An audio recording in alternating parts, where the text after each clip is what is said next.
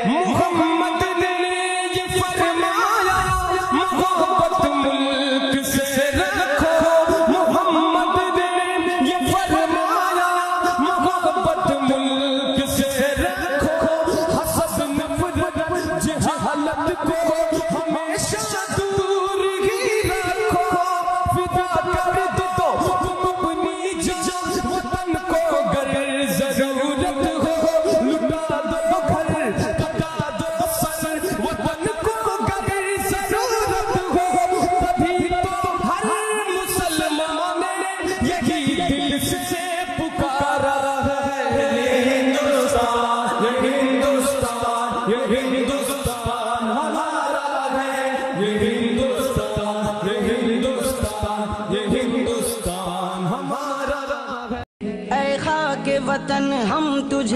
परवाह न करेंगे। हम तेरे लिए जान की परवाह न करेंगे। मर जाएँगे लेकिन तेरा सौदा न करेंगे।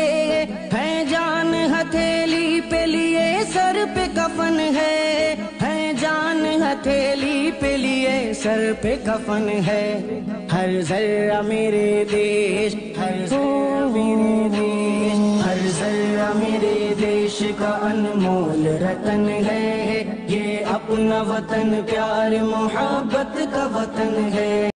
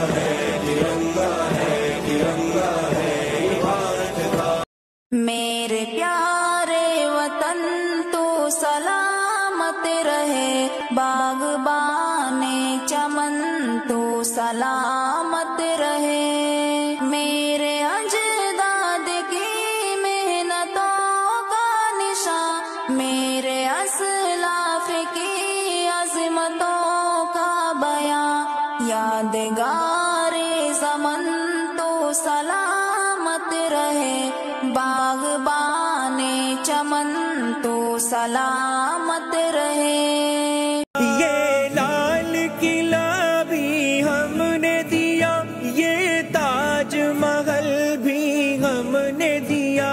पर्वत को बुलंदी हमसे मिली और गंगा जल भी खूब दिया। नादान ये फिर भी कहते हैं, ये मुल्क कहाँ से तुम्हारा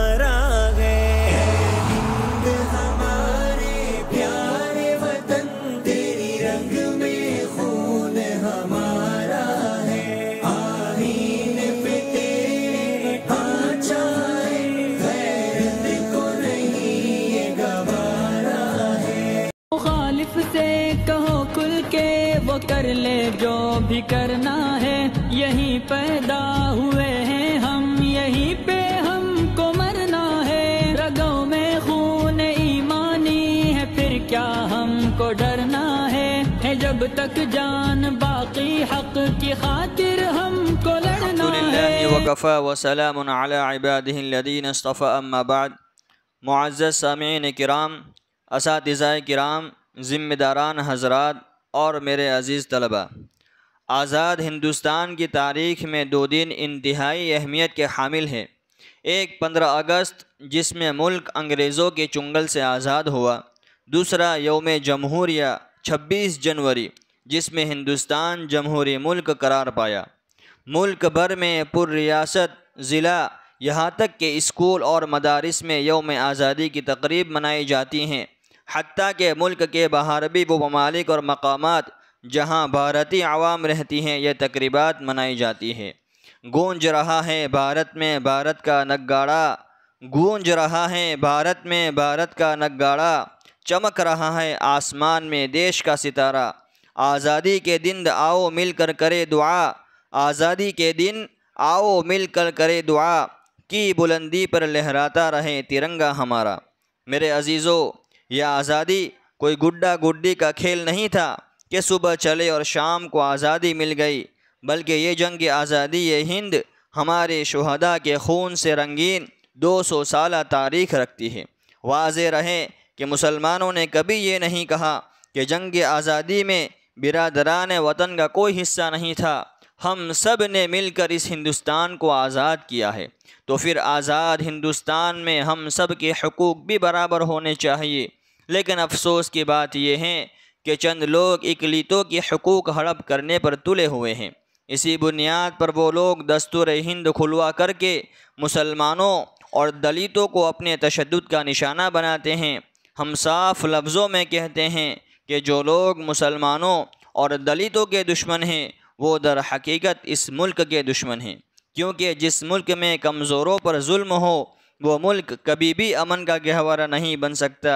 इसलिए अगर हिंदुस्तान तरक्की याफ्ता मुल्क बनने का ख्वाब शर्मिंद ताबीर करता है तो अरबाब हिल्लक़द सबको साथ लेकर चलने के नारे को अमली जामा पहनाना पड़ेगा।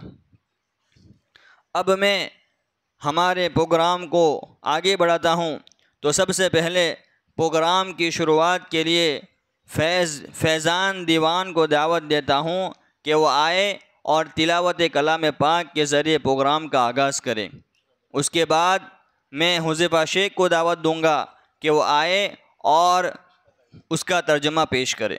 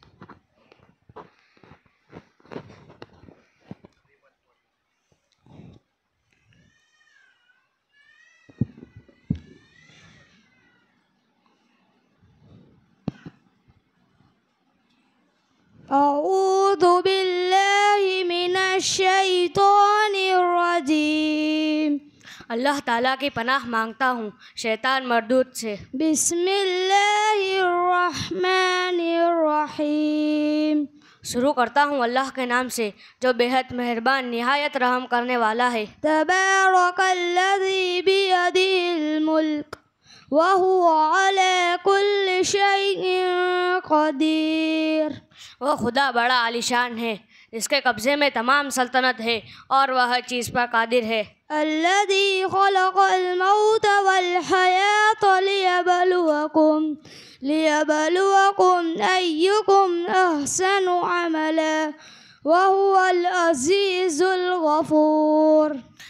जिसने मौत और हयात को पैदा किया ताकि तुम्हारी आजमाइश करे कि तुम में कौन शख्स अमल में ज़्यादा अच्छा है और वह ज़बरदस्त बख्शने वाला है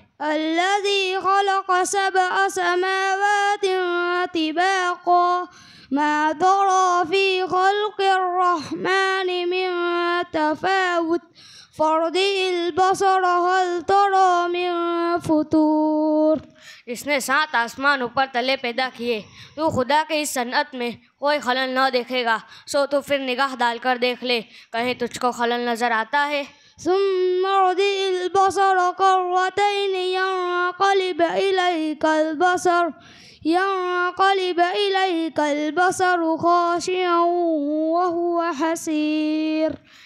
फिर बार बार निगाह डालकर देख आखिरकार निगाह जलील और दरमानदा होकर तेरी तरफ लौट आएगी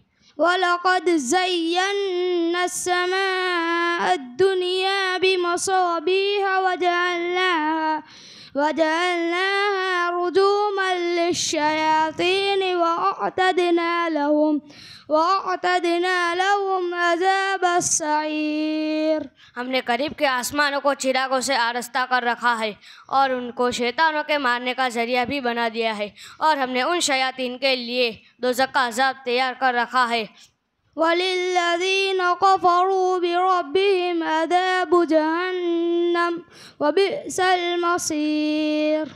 और जो लोग अपने रब का इनकार करते हैं उनके लिए दोजक का अजाब है और वह बुरी जगह है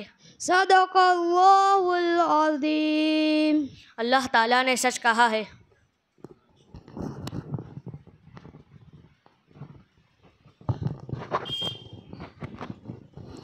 माशा दोनों बच्चों ने बहुत खूब अंदाज में अंदाज में तिलावत पेश की और तर्जुमा किया। अल्लाह तबारक व ताली दोनों बच्चों को दुगनी चुगनी तरक्यात से नवाजे। हमारे इन दोनों बच्चों को हमारे मदरसा हज़ा के उस्ताद कारी ज़ुबैर साहब ने तैयार किया है। कारी ज़ुबैर साहब की मेहनत को भी अल्लाह तबारक व ताली कबूल फ़रमाए। उसके बाद मैं हमद और नात पेश करने के लिए आमेरा आदम, आरज़ू सैद अक्सा शेख को दावत देता हूँ। कि वह आकर नज़म पेश करे।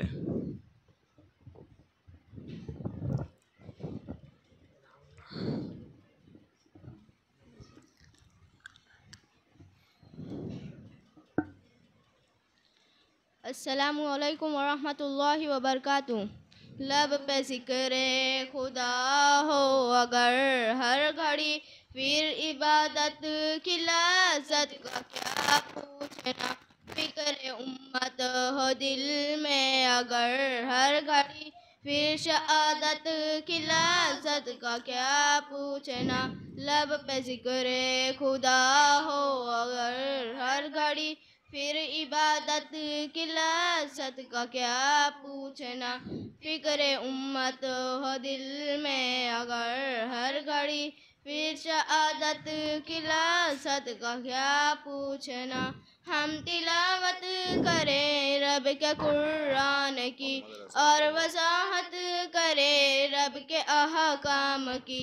हम तिलावत करें रब के कुरान की और वसाहत करें रब के अहकाम की। ऐसी फिक्रों में खो जाए इंसान सब फिर हिदायत किला सदका का क्या पूछना? लब पे ज़िक्र खुदा हो अगर हर घड़ी। फिर इबादत किला सद का क्या पूछना? फ़िक्र उम्मत हो दिल में अगर हर घड़ी। फिर शहादत किला लज्जत का क्या पूछना? एक अल्लाह की हम इबादत करें और असलाम की हम निकारत करें। एक अल्लाह की हम इबादत करें और असलाम की हम निकारत करें। दिल से कर ले पसंद प्यारे इस्लाम को फिर जियारत किला लज्जत का क्या पूछना? लब पे ज़िक्र खुदा हो, अगर हर घड़ी फिर इबादत किला लज्जत का क्या पूछना? फ़िक्र उम्मत हो दिल में, अगर हर घड़ी फिर शहादत की लज्जत का क्या पूछना? जान कुर्बा करूँ ए नबी आप पर। ए तमन्ना मेरी ए नबी मुख्तसर जान कुर्बा करूँ ए नबी आप पर। ए तमन्ना मेरी ए नबी मुख्तसर की हो सफात में मेरा शुमार। फिर फराहत किला लसत का क्या पूछना। लब पे सिकरे खुदा हो अगर हर घड़ी। फिर इबादत की लसत का क्या पूछना? फ़िक्र उम्मत हो दिल में अगर हर घड़ी।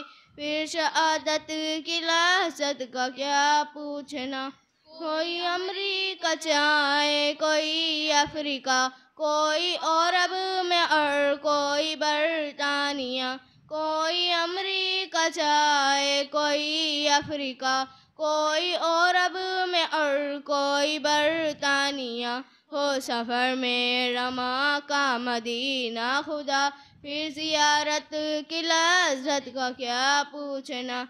लब पे सिकरे खुदा हो अगर हर घड़ी फिर इबादत किला लज्जत का क्या पूछना? फ़िक्र उम्मत हो दिल में अगर हर घड़ी। फिर शहादत किला लज्जत का क्या पूछना? दोस्तों, एक नसीहत मेरी सुन लो तुम। करते उल्फत मोहम्मद नबी से हो तुम। दोस्तों एक नसीहत मेरी सुन लो तुम। करते उल्फत मोहम्मद नबी से हो तुम। दाढ़ी से चेहरा अपना सजा लेना तुम। फिर असाहत की लसत का क्या पूछना? लब पे सिकरे खुदा हो अगर हर घड़ी। फिर इबादत की लज्जत का क्या पूछना? फ़िक्र उम्मत हो दिल में अगर हर घड़ी फिर शहादत किला लज्जत का क्या पूछना? नात आका को लिखना, मोहम्मद सदा। सीरत मुस्तफ़ा को सुना तू सदा। नात आका को लिखना, मोहम्मद सदा। सीरत मुस्तफ़ा को सुना तू सदा। राज़ी हो जाए हमसे खुदा और नबी। फिर बशारत किला लज्जत का क्या पूछना? लब पे सिकरे खुदा हो अगर हर घड़ी। फिर इबादत किला लज्जत का क्या पूछना? फ़िक्र उम्मत हो दिल में अगर हर घड़ी। फिर आदत की लज्जत का क्या पूछना। माशा तीनों बच्चियों ने बहुत खूब अंदाज में नज़म पेश की। हमारी इन तीनों बच्चियों को तैयार करने वाली हमारे मदरसा हाजा की मौलमा यासमीन आपा है। अल्लाह तबारक व ताली मौलमा की मेहनत को भी कबूल फरमाए। उसके बाद बुज़ुर्गों की कुर्बानी के उनवान पर तकरीर पेश करने के लिए मैं फ़ातिमा अमला को दावत देता हूँ कि वह आकर बुज़ुर्गों की कुर्बानी पर तकरीर पेश करे।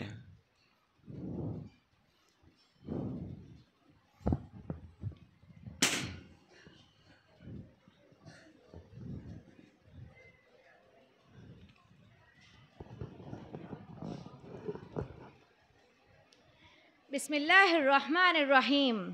नहमदुहु व नुसल्ली अला रसूलिहिल करीम। अम्मा बाद। मोहतरम इस मेरे प्यारी मालमत और तलबा तालिबात, आज मैं आप हजरात के सामने हमारे इस हिंदुस्तान की आज़ादी के सिलसिले में कुछ रोशनी डाल रही हूँ, जिससे हमारी तारीखी कुर्बानी और इतिहास के बारे में मालूम हो सके। मोहतरम हजरात, सोलहवीं सदी ख़त्म होते होते अंग्रेज़ी ताजिर हिंदुस्तान पहुँच चुके थे। 1601 में रानी एलिजाबेथ की इजाज़त से सौ ताजिरों ने तीस हज़ार पाउंड जैसी मोटी रकम लगाकर अपना तिजारती इदारा ईस्ट इंडिया कंपनी के नाम से कायम किया। मगरबी बंगाल को कंपनी ने अपना मरकज़ बनाया। 150 साल तक कंपनी की तमाम तर तवज्जो सिर्फ़ तिजारत पर रही, लेकिन हज़रत औरंगज़ेब आलमगीर अलैह और मुअज़्ज़म शाह के बाद जब मुगलिया सल्तनत की बुनियाद कमज़ोर पड़ने लगी, तब कंपनी ने अपना मुखौटा उतार फेंका और निज़ाम हुकूमत में मुदाखलत करना शुरू कर दी। सत्रह सौ सतावन में पलासी की जंग में नवाब सिराजुद्दौला के खिलाफ अंग्रेज़ों की फौजें खुल्लम खुल्ला मैदान में उतर आई। नंग मिल्लत नंग दिन और नंग वतन में मीर जाफ़र की गद्दारी की वजह से नवाब सिराजुद्दौला को हार का मुँह देखना पड़ा। 1764 में नवाब शुजाउद्दौला की बक्सर में शिकस्त के बाद बंगाल और बिहार दोनों कंपनी के कब्जे में चले गए। सत्रह में सिरे मैसूर टीपू सुल्तान की शहादत के बाद मैसूर और उनचास में पंजाब की कंपनी ने पंजाब भी कंपनी के कब्जे में आ गया। इसी तरह सिंध, आसाम, बर्मा, अवध, रुहेलखंड, अलीगढ़, मद्रास, पौंडीचेरी वगैरह भी अंग्रेज़ों के जेर तसलत आ गए और फिर वो दिन भी आ गया जब दिल्ली पर भी कंपनी की हुकूमत कायम हो गई और मुग़ल बादशाहों का सिर्फ़ नाम ही रह गया। मोहतरम हजरात, इन इलाकों पर फतह हासिल करने के लिए अंग्रेज़ों ने क्या क्या तदबीरें की? वो मिसिज एनी बेसन की ज़बानी सुनिए। वो कहती है कि कंपनी वालों की जंग सिपाहियों की जंग नहीं थी, बल्कि खुद ताजिरों की जंग थी। उन्होंने इस मुल्क को अपनी तलवार से नहीं, बल्कि खुद हिंदुस्तानियों की तलवार से रिश्वत व साजिश, निफाक और हद दर्जा की दो सखी पॉलिसी पर अमल कराकर एक जमात को दूसरी जमात से लड़ाकर हासिल किया। मोहतरम हजरात मुल्क में अंग्रेज़ों के फैलते हुए जाल और बढ़ते हुए असर रसूख को सबसे पहले अगर किसी ने महसूस किया तो वह थे हज़रत मौलाना शाह वलीउल्लाह दहलवी रहमत उन्होंने अपनी दूर अंदेशी के साथ इसलाह के उसूल बयान किए, तरीका एकार की निशानदही की और बाशिंदगान वतन के बुनियादी हकूक़ को पामाल कर देने वाले निज़ाम हुकूमत को दरहम बरहम कर देने की तलकिन की और इसके लिए उन्होंने ताकत के इस्तेमाल पर भी ज़ोर दिया। आपके मुतन करदा नक्शा राह के मुताबिक आपके बड़े बेटे हज़रत मौलाना शाह अब्दुल अज़ीज़ दहलवी रहमतुल्लाह अलैह ने बरतानवी इस्तेमार के खिलाफ जद्दोजहद का मनज़म आगाज़ किया। अंग्रेज़ों के खिलाफ तारीखी फतवे जारी किए और मुल्क के दारुल हर्ब होने का ऐलान किया, जो अंग्रेज़ों के खिलाफ जंग के मुतरादिफ था। आपके मुतन जो अंग्रेज़ों के खिलाफ जंग के मुतरादिफ था, ये फतवा जंगल की आग की तरह मुल्क के कोने कोने में पहुँच गया। अट्ठारह सौ सत्रह अट्ठारह सौ सत्तावन में पलासी की जंग में नवाब सिराज अठारह सौ सत्रह में पलासी की जंग में उलमाए किराम ने बाकायदा हिस्सा लिया। ये उलमाए किराम हज़रत सैयद अहमद शहीद राई बलीली अलैह, इस्माइल दहलवी और हज़रत अब्दुल हई लुधियानवी रहमतुल्लाह की मुशावरत में एक जमात तश्कील दी गई, जिसने मुल्क के अतराफ़ में पहुँच कर अवाम में दीनी और सियासी बेदारी पैदा की। फिर अंग्रेज़ों के खिलाफ जिहाद के लिए 1818 में अवाम की जहनशाजी के लिए और और जिहाद की तैयारी के लिए मुजाहिदीन को रवाना किया गया। जंग की खसूसियात के बिना पर जिहाद का मरकज़ सुबह सरहद को मुकर कर दिया गया। मकसद तो अंग्रेज़ों से जिहाद था, लेकिन पंजाब के राजा अंग्रेज़ों के वफादार थे और वे इस जंग के खिलाफ थे। और उसे नाकाम करने की तदबीरें कर रहे थे। इसीलिए पहले सैयद साहब ने उन्हें पैगाम भेजा कि हम अंग्रेज़ हम अंग्रेज़ दुश्मन से जंग करके मुल्क को तुम्हारे हवाले कर देंगे, क्योंकि मुल्क मार के हम तालिब नहीं, लेकिन उन्होंने अंग्रेज़ों की वफादारी नहीं छोड़ी तो उनसे भी जिहाद किया गया। 1831 में बालाकोट में सैयद अहमद शहीद राय बरेली रहमत ने जाम शहादत नोश फरमाया, लेकिन उनके मुतवसिलिन ने हिम्मत नहीं हारी, बल्कि मुल्क के मुख्तलिफ़ अतराफ में अंग्रेज़ों के खिलाफ गोरीला जंग जारी रखी। सैयद साहब के मुतवसिलिन और मुजाहिदीन ने अवाम में फिजा हमवार करने और अवाम को जिहाद के लिए तैयार करने में अहम फरीजा अंजाम दिया। अठारह सौ सत्तावन की जंग आज़ादी में किराम ने बाकायदा हिस्सा लिया। ये किराम हज़रत शाह वलीउल्लाह दहलवी अलैह, हज़रत शाह अब्दुल अज़ीज़ दहलवी अलैह और हज़रत सैयद अहमद शहीद राय बरेली अलैह के सिलसिलतुज़हब की सुनहरी लड़ी थी। उन्होंने मुल्क में आवाम को जिहाद की तरतीब दिलाने के लिए मुल्क के तुलो अर्ज़ में वाजो तकरीर का बाज़ार गर्म किया और अवाम को जिहाद के लिए उभारने का अहम फरीजा अंजाम दिया। नीज एक मुतफ़ा फतवा जारी करके अंग्रेज़ों के खिलाफ जिहाद को फ़र्ज़ ऐन करार दिया। इस फतवे ने जले पर नमक का काम किया और अवाम को जिहाद के लिए मुल्क में आज़ादी की आग भड़का दी। अकाबिर उलमाए देवबंद ने शामली के मैदान में खुद शिरकत की। ये किराम हज़रत मौलाना कासिम नानोतवी अलैह, हज़रत सैयद अहमद शहीद गंगोही अलैह और हज़रत हाफिज़ जामिन थानवी अलैह ने हज़रत मौलाना हाजी इमदादुल्लाह मुहाजिर मक्की अलैह के हाथ पर बैत की और जिहाद की तैयारी शुरू कर दी। जिहाद का मरकज़ सूबा सरहद को बनाया गया। जैसे ही मुजाहिदीन ने पहला हमला शेर अली की शरत पर किया और फतह हासिल हुई, और उनके मालो इसबाब को लूट लिया और दूसरा हमला 14 सितंबर अट्ठारह में शामली पर किया और और फतह हासिल हुई। इस इस जिहाद इस जिहाद का, इस जिहाद में हज़रत मौलाना मुनीर गंगोही मुनीर नानोतवी अलैह को फ़ौज के बाई बाज, दाई बाजू का और हज़रत हाफिज़ जामिन थानवी रहमत को फ़ौज के दाई बाजू का अफसर मुकर कर दिया गया था। इसी मारिका में हाफिज़ जामिन थानवी रहमतुल्लाह अलैह शहीद हुए। हज़रत मौलाना गंगोही रहमत को मुजफ्फरनगर की जेल में कैद कर दिया गया और हज़रत सैयद हसन मस्कीरी रहमत को सहारनपुर लाकर अंग्रेज़ ने गोली मार दी। हज़रत मौलाना कासिम नानोतवी रहमत आइंदा की हिकमत अमली तय करने के लिए अंडरग्राउंड हो गए। मुख्तलिफ़ इसबाब वजूहत के बिना पर यह जंग नाकाम रही। आज़ादी के मतवालों पर मजालिम के पहाड़ तोड़ डाले गए जिसमें मुसलमानों और उलमाए किराम को अंग्रेज़ों के मशक शितम का निशाना बनाया गया। पाँच लाख से भी ज़्यादा उलमाए किराम को शहीद कर दिया गया। जिसमें मुसलमानों को शहीद कर दिया गया, जिसमें साढ़े बावन हज़ार से भी ज़्यादा उलमाए किराम थे। अठारह सौ सत्तावन से चौदह बरस पहले गवर्नर जनरल हिंद ने यह कह दिया था कि मुसलमान हमारे बुनियादी तौर पर मुखालिफ है और वो इसलिए क्योंकि उन्होंने हुकूमत मुसलमानों से छीनी थी और वो, और उलमाए किराम ने उनके खिलाफ तारीखी फतवे जारी करके अंग्रेज़ों के खिलाफ एलान जंग को आम कर दिया था। अंग्रेज़ उलमाए किराम के इतने बड़े दुश्मन थे कि वो दाढ़ी और लंबी टोपी वालों को देखते ही फांसी दे देते थे और उन्हें आग में जला देते थे। शहर दिल्ली में सिर्फ़ सिर्फ़ दिल्ली में 500 भी ज़्यादा उलमाए किराम को शहीद कर दिया गया और शहर दिल्ली को मक्तल में तब्दील कर दिया गया। मिर्ज़ा गालिब की ज़बान में चौक जिसको कहे वो मक्तल है, कि चौक जिसको कहे वो मक्तल है गर नमूना बना है जिंदों का, शहर दिल्ली का जर्रा जर्रा खाक तिश्ना खून है हर मुसलमान का। लखनऊ दिल्ली, पलपट, कलकत्ता, पटना, लाहौर, अंबाला, सहारनपुर, शामली और मुल्क के चप्पे चप्पे में मुसलमानों और दीगर मजलूम हिंदुस्तानियों की लाशें नज़र आ रही थी। उलमाए किराम को ज़िंदा खंजीर की खाल में सी देते थे और फिर आग में जला दिया जाता था। तो कभी तो उनके बदन पर खंजीर की चर्बी चर्बी मल दी जाती थी और फिर आग में जला देते थे। इस जंग में नाकामी की बुनियादी वजह अफराद वसाइल की किल्लत और तंजीम की कमी थी। इसलिए हमारे अकाबिर देवबंद ने गौरव खोज के बाद अट्ठारह में दारुलूम देवबंद कायम किया, जिसका बुनियादी मकसद जहाँ तालीम तल्लुम था, वहीं अफराद और रिजालकार की तैयारी भी थी, जो कौम मुल्क की क्यादत कर सके और कारवान आज़ादी को मंजिल तक पहुँचा सके।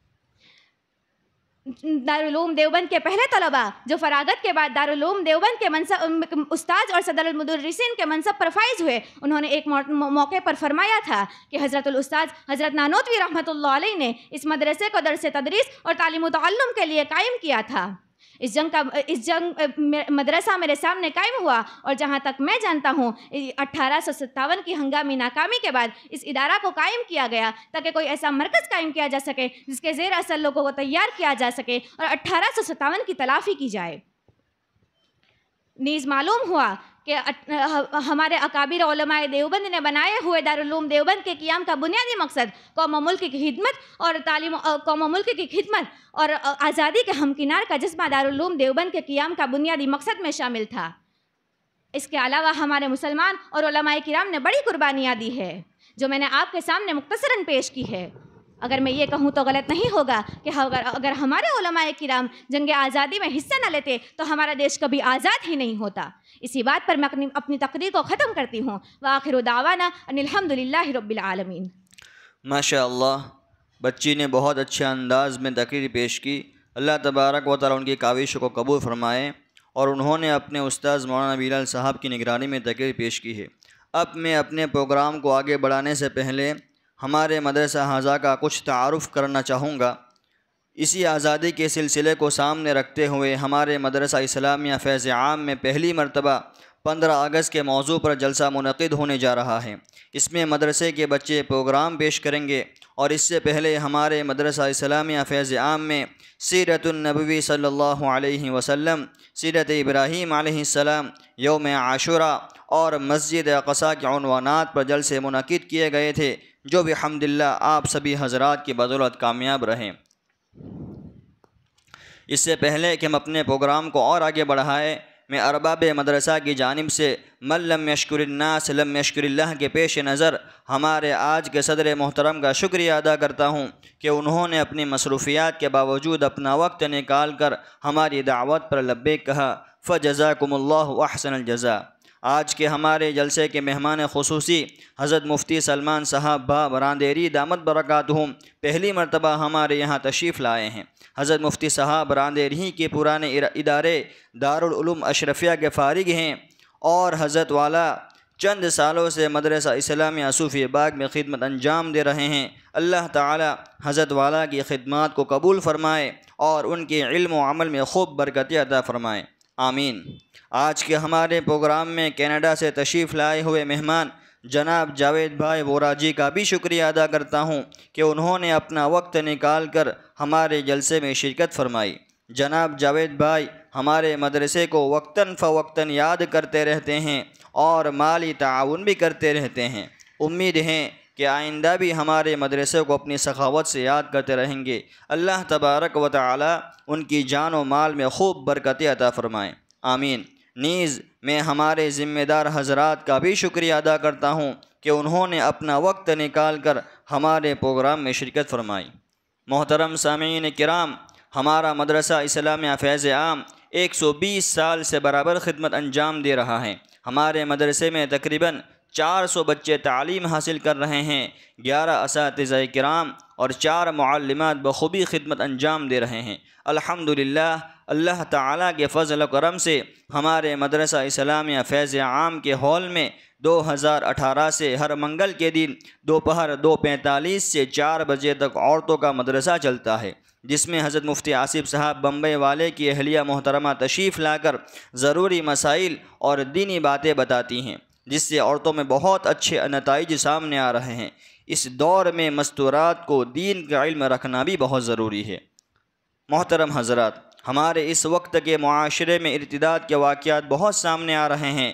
इर्तदाद यानी मुर्तद हो जाना, अपने ईमान को खो देना, इस नाजुक मसले को सामने रखते हुए मई 2023 से हमारे ज़िम्मेदार हजरात ने महीने में एक दिन मगरिब से ईशा के दरमियान एक मजलिस शुरू की, जिसमें दारुलक़ज़ा जामिया इस्लामिया तालीमुद्दीन दाबेल के उस्ताद हज़रत मुफ्ती हिफ्ज़ुररहमान साहब सिमलकी दामद बरक़ातहमुलिया अपनी मसरूफियात में से वक्त निकाल कर हर महीना पाबंदी से तशरीफ़ लाते हैं और औरतों में ईमान और अकायद के अनवान पर बयान करते हैं।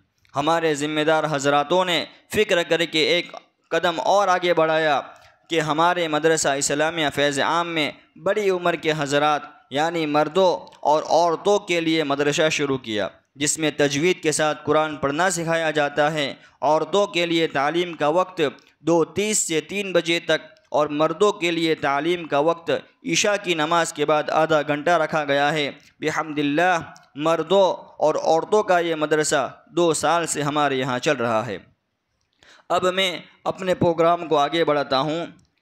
चुनाच नज़म पेश करने के लिए साइमा शेख, अरीबा पठान, आमिना फैंसी, अनीका सैयद और सना शेख को दावत देता हूँ कि तुझ पे भारत मेरे कितने एहसान हैं, उस पर नज़म पेश करे।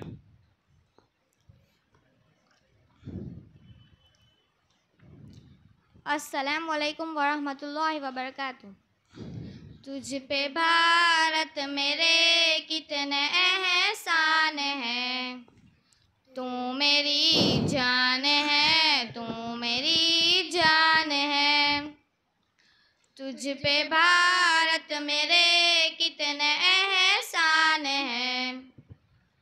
तू मेरी जान है, तू मेरी जान है। तेरी खातिर बहाया था हमने लहू। तेरी खातिर बहाया था हमने लहू।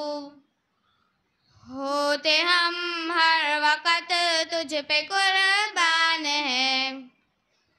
होते हम हर वक़्त तुझ पे कुर्बान हैं। तुझ पे भारत मेरे कितने एहसान हैं। तू मेरी जान है, तू मेरी जान है। शफकतो प्यार की तुझ में बहती नदी। शफकतो प्यार की तुझ में बहती नदी। देख कर के तुझे लोग हैरान हैं। देख कर के तुझे लोग हैरान हैं। तुझ पे भारत मेरे कितने एहसान तू मेरी जान है, तू मेरी जान है। हिंदू मुस्लिम में यकजहती तुझ में बहुत। हिंदू मुस्लिम में यकजहती तुझ में बहुत। इसलिए तेरी दुनिया में पहचान है। इसलिए तेरी दुनिया में पहचान है। तुझ पे भारत मेरे कितने एहसान है। तू मेरी जान है, तू मेरी जान है। तेरा दुनिया में चर्चा है भारत बहुत। तेरा दुनिया में चर्चा बहुत मुख्तलिफ़ कौम के तुझ में इंसान है। मुख्तलिफ़ कौम के तुझ में इंसान है। तुझ पे भारत मेरे कितने एहसान है। तू मेरी जान है, तू मेरी गंगा जमुना की तहजीब तू बन गया। गंगा जमुना की तहजीब तू बन गया। इस कदर आला भारत तेरी शान है। इस कदर आला भारत तेरी शान है। तुझ पे भारत मेरे कितने एहसान है। तू मेरी जान है, तू मेरी जान है। भाईचारा को अरशद तुम बाकी रखो। भाईचारा को अरशद तुम बाकी रखो। दुश्मनी और अदावत में नुकसान है। दुश्मनी और अदावत में नुकसान है। तुझ पे भारत मेरे कितने एहसान है। तू मेरी जान है, तू मेरी जान है। तू मेरी जान है, तू मेरी जान है। अस्सलाम वालेकुम वरहमतुल्लाहि माशा तमाम बच्चियों ने बहुत अच्छे अंदाज में नज़म पेश की। इन तमाम बच्चियों ने अपनी उस्ताज इस फ़रीद आपा की निगरानी में ये नज़म मश्क की है। अल्लाह तबारक व ताली बच्चियों और आपा की मेहनत को कबूल फ़रमाए। अब मैं पंद्रह अगस्त क्या है, इस मौजू पर तकरीर पेश करने के लिए सुफियान सरवर शेख को दावत देता हूँ कि वह आकर तकरीर पेश करें।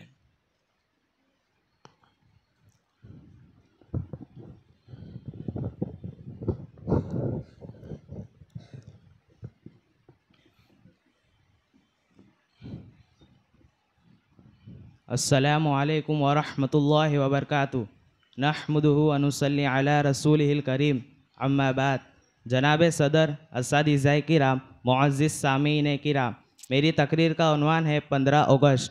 आइंदा कल पंद्रह अगस्त है, जिसको उर्दू में यौम आज़ादी कहते हैं। हम हर साल बड़े ही जोश और खरोश के साथ मनाते हैं। उसके पीछे क्या राज है और आखिर उसकी क्या वजह है और क्यों मनाते हैं? और आज का ये अजीमुशान दिन हम भारतवासियों को क्या मैसेज और क्या पैगाम देता है? मोहतरम हज़रत, आज से चुम्बोतर साल पहले हमारा मुल्क अजीम अपनों की दुश्मनी, आपस के इख्तिलाफ़, इंतशार और खाना जंगी की वजह से अंग्रेज़ों का ग़ुलाम बन गया था। हमारे बड़े बुज़ुर्ग सब अंग्रेज़ों की ग़ुलामी में ज़िंदगी बसर कर रहे थे। दरअसल जिस दिन उन्होंने अपने नापाक कदम इस सर ज़मीन पर रखे थे, तिजारत के नाम पर सियासी फौजी असर व रसूख हासिल करके यहाँ के हुक्मरानों को बेदस्तोया कर दिया। उन्होंने हम पर तकरीबन दो साल हुकूमत की। उनकी पॉलिसी डिवाइड एंड रूल की थी। उनकी पॉलिसी ये थी कि उनके दरमियान नफ़रत की दीवार कायम करूँ, उनको आपस में लड़ाऊँ। जब ये आपस में लड़ेंगे तो उनकी हवा उखड़ जाएगी। लिहाजा यही हुआ। वो उसमें सौ फ़ीसद कामयाब हो गए। नतीजा ये हुआ कि मुल्क हमारा था, लेकिन हुकूमत उनकी थी। ज़मीन हमारी थी, लेकिन ज़मींदार वो थे। हम अपनी ही ज़मीन में, अपने ही मुल्क में उनके मज़दूर और लेबर थे। अंग्रेज़ हिंदुस्तान के मासूम बाशिंदों पर, यहाँ के लोगों पर, यहाँ के अफराद पर खूब जुल्म किया करते थे। उन्होंने मर्दों पर तय तय किया, औरतों को बेवा, बच्चों को यतीम किया, लाखों अफराद को, लाखों उलमाए किराम को फांसी के फंदे पर लटकाया। उन्होंने जुल्म और सितम की ऐसी दास्ता दो रहे कि उसके सामने हलाकों और चंगेज़ के कारनामे भी फीके पड़ जाते हैं। जब 15 अगस्त उन्नीस का ये मुबारक दिन था, जब हमें न सिर्फ़ जालिम हुक्मरानों से भी आज़ादी मिली, बल्कि ज़िल्लत व रसाई से भी आज़ादी मिली।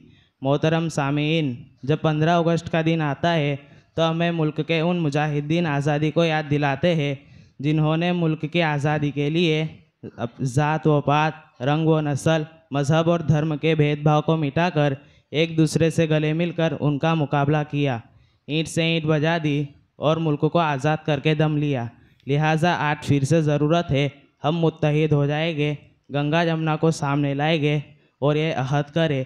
एक आज़ाद और खुददार कौम होने के नाते हम मुल्क की तरक्की के लिए पूरी लगन के साथ काम करेंगे। वक्त की तंग दामने को देखते हुए मैं अपनी बात को इस शहर पर ख़त्म करता हूँ। मज़हब नहीं सिखाता आपस में बैर रखना। हिंदी है हम वतन है, हिंदुस्तान हमारा। वाह माशा अल्लाह तबारक व ताला इनकी काविशों को कबूल फरमाएँ।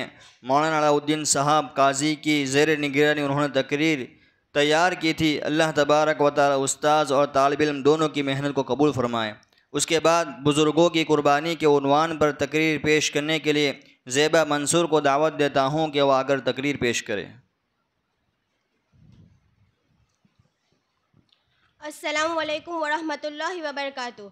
नहमदुहु व नुसल्ली अला रसूलिहिल करीम। अम्मा बाद, सदर मुअज़्ज़ज़ मोहतरम असातिज़ाए किराम और मेरे अज़ीज़ साथियों, हमारे मुल्क की आज़ादी के सिलसिले में मुफ्ती अहमद साहब दामद बरकतुलम एक शेर सुनाया करते हैं।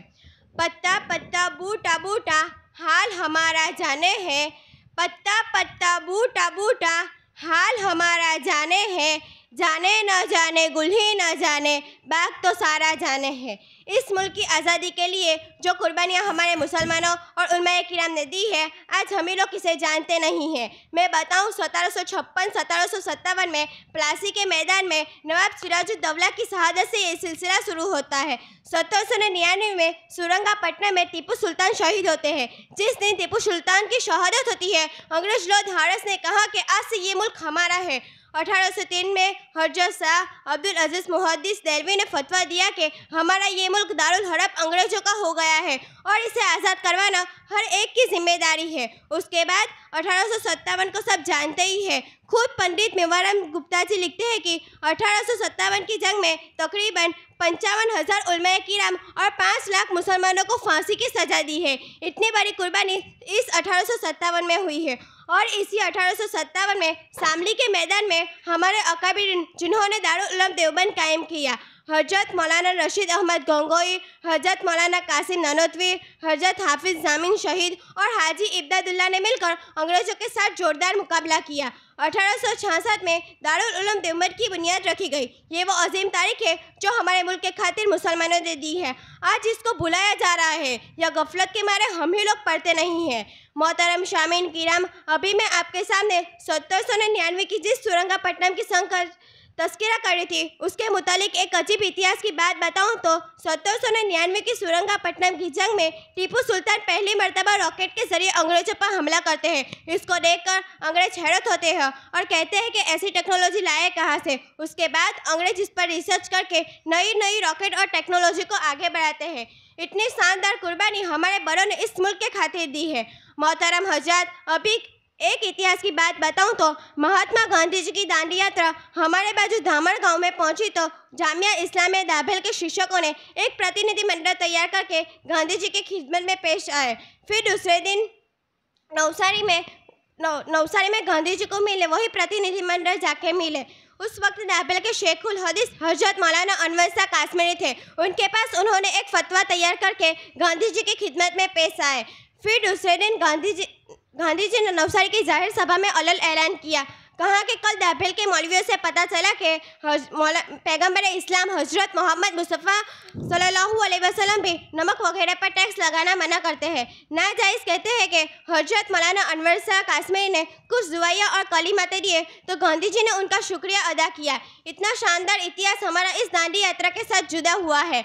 मेरे भाइयों और बहनों, उस वक्त राबे के शिष्यों को शिक्षकों और उस्तादों, मुफ्ती अतीफ़ुर रहमान और आज़ाद हिंदुस्तान पार्लियामेंट के पहले मेंबर हिफ्जुर रहमान मदनी ने सीयू हार्वे ने धामर से नवसारी और नवसारी से दांडी तक गांधी जी के साथ रहे। इतना अजीम वाबस्ता हमारा इस दांडी यात्रा के साथ दास्तान है।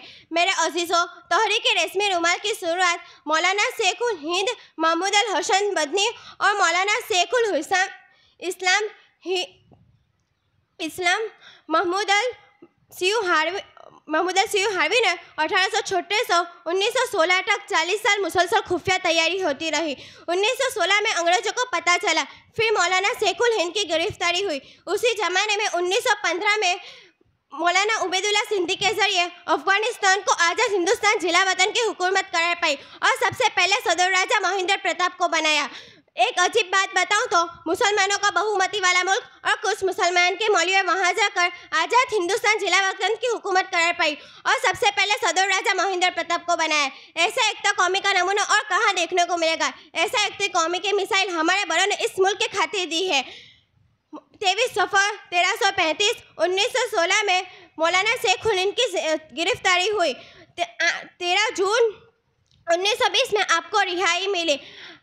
तेरह मार्च को आप अपने वतन लौट कर पहुँचे। तकरीबन तीन साल और सात महीने के बाद अपने वतन लौट कर आए। और भी मुसलमानों और उलमा ने कुर्बानी दी है। मैंने आपके सामने एक इतिहास का छोटा सा नमूना पेश किया। अल्लाह ताला हमें अपना इतिहास जानने और समझने की अता फरमाए। वाखिर दावाना अनिलहमदिल्ला माशा इस बच्ची ने बुज़ुर्गों की कुर्बानी के मौके पर बहुत अच्छे अंदाज में तकरीर पेश की।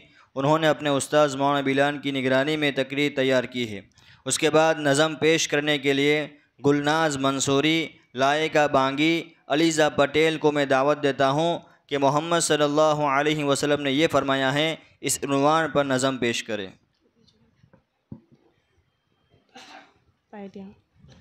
असलकम वरहमतुल्लाहि वबरकातुहू।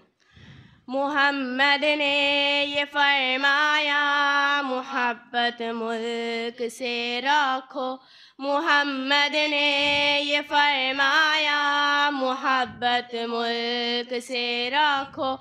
हसद, नफरत, जिहालत को हमेशा दूर ही रखो। फिदा कर दो तुम अपनी जा वतन को गर ज़रूरत हो। लुटा दो घर, कटा दो सर, वतन को घर ज़रूरत हो, तभी तो हर मुसलमान ने यहीं दिल से पुकारा है। ये हिंदुस्तान ये हिंदुस्तान ये हिंदुस्तान हमारा है। ये हिंदुस्तान ये हिंदुस्तान ये हिंदुस्तान हमारा है। समंदर है, हँसी झरने है और ऊँचा हिमालय है। समंदर है, हँसी झरने है और ऊँचा हिमालय है। यहाँ का गोशा गोशा एक अनोखी शान वाला है। बुलंदी पर जो लहराता है, वो परचम हमारा है। बुलंदी पर जो लहराता है, वो परचम हमारा है। यजमत का निशा अपना, तिरंगा सबसे प्यारा है।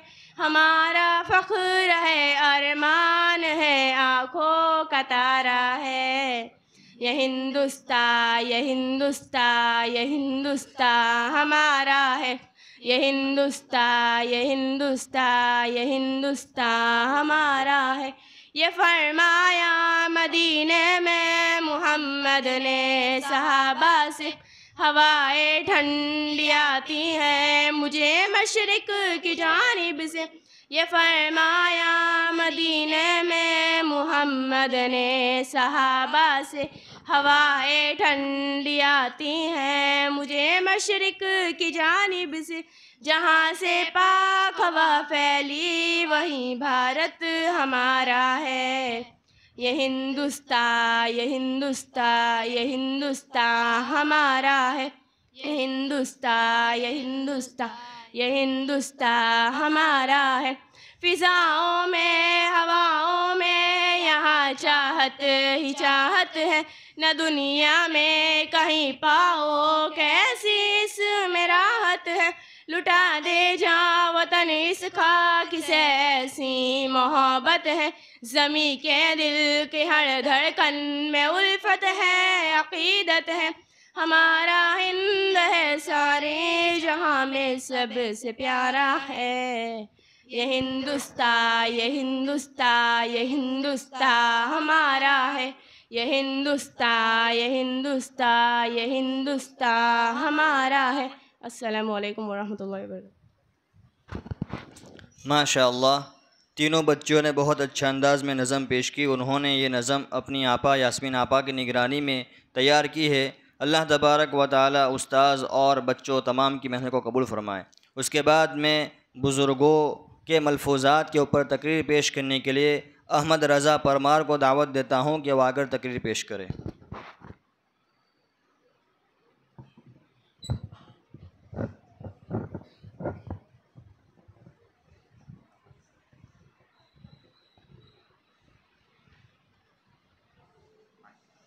असलकम वरहमल वबरक अल्हम्दुलिल्लाह अल्हम्दुलिल्लाह वकफ़ा वसलामुन अला इबादिहिल्लज़ीन इस्तफ़ा अम्मा बाद अऊज़ु बिल्लाहि मिनश्शैतानिर रजीम बिस्मिल्लाहिर रहमानिर रहीम या अय्युहन्नासु इन्ना खलक़नाकुम मिन ज़करिन व उन्सा सदक़ल्लाहुल अज़ीम मोहतरम हज़रत अल्लाह ताला कुरान करीम में इरशाद फरमाते हैं कि ए लोगो हमने तुमको एक ही मर्द औरत से पैदा किया मुआज़ इस किराम, मेरे साथियों, दोस्तों और बुज़ुर्गों, पंद्रह अगस्त को पूरे हिंदुस्तान में यौम आज़ादी मनाई जाती है, तिरंगा लहराया जाता है, खुशियाँ मनाई जाती है, मिठाइयाँ तकसीम की जाती है, चॉकलेट तकसीम की जाती है।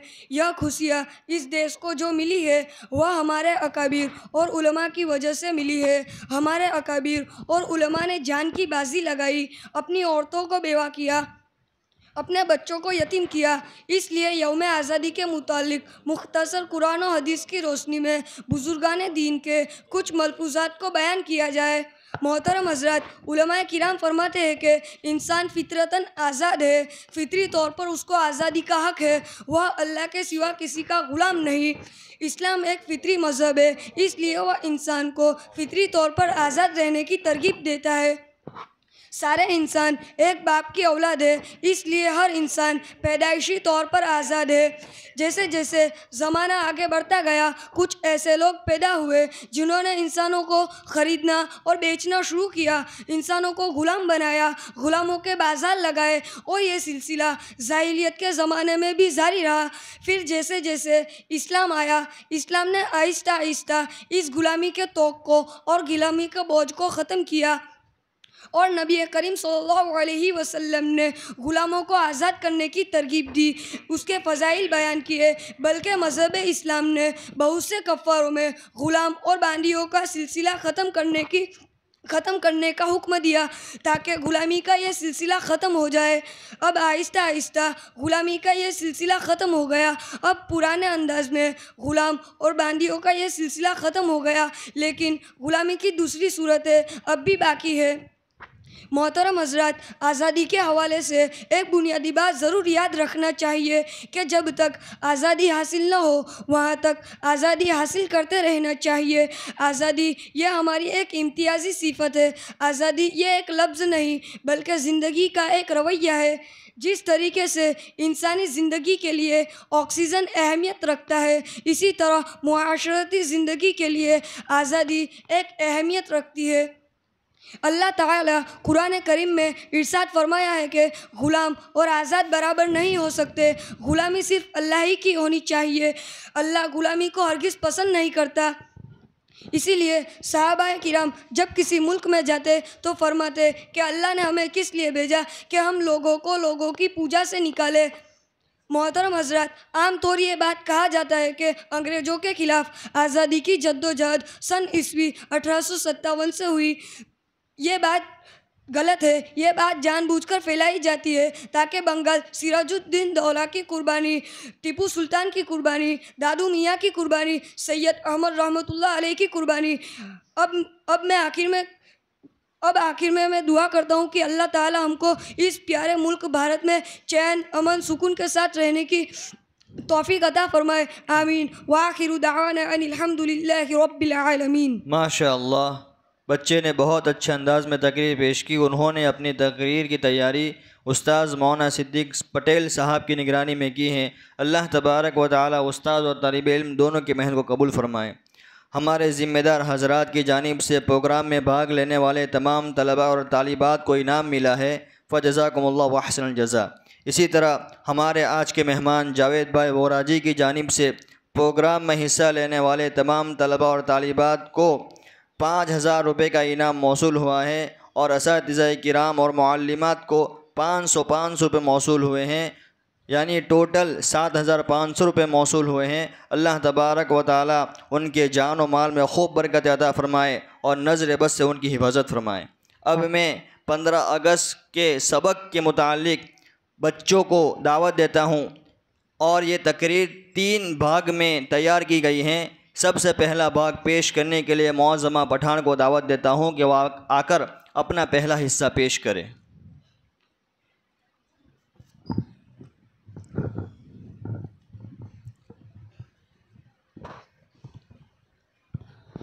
अस्सलाम वालेकुम वरहमतुल्लाहि वबरकातुहू।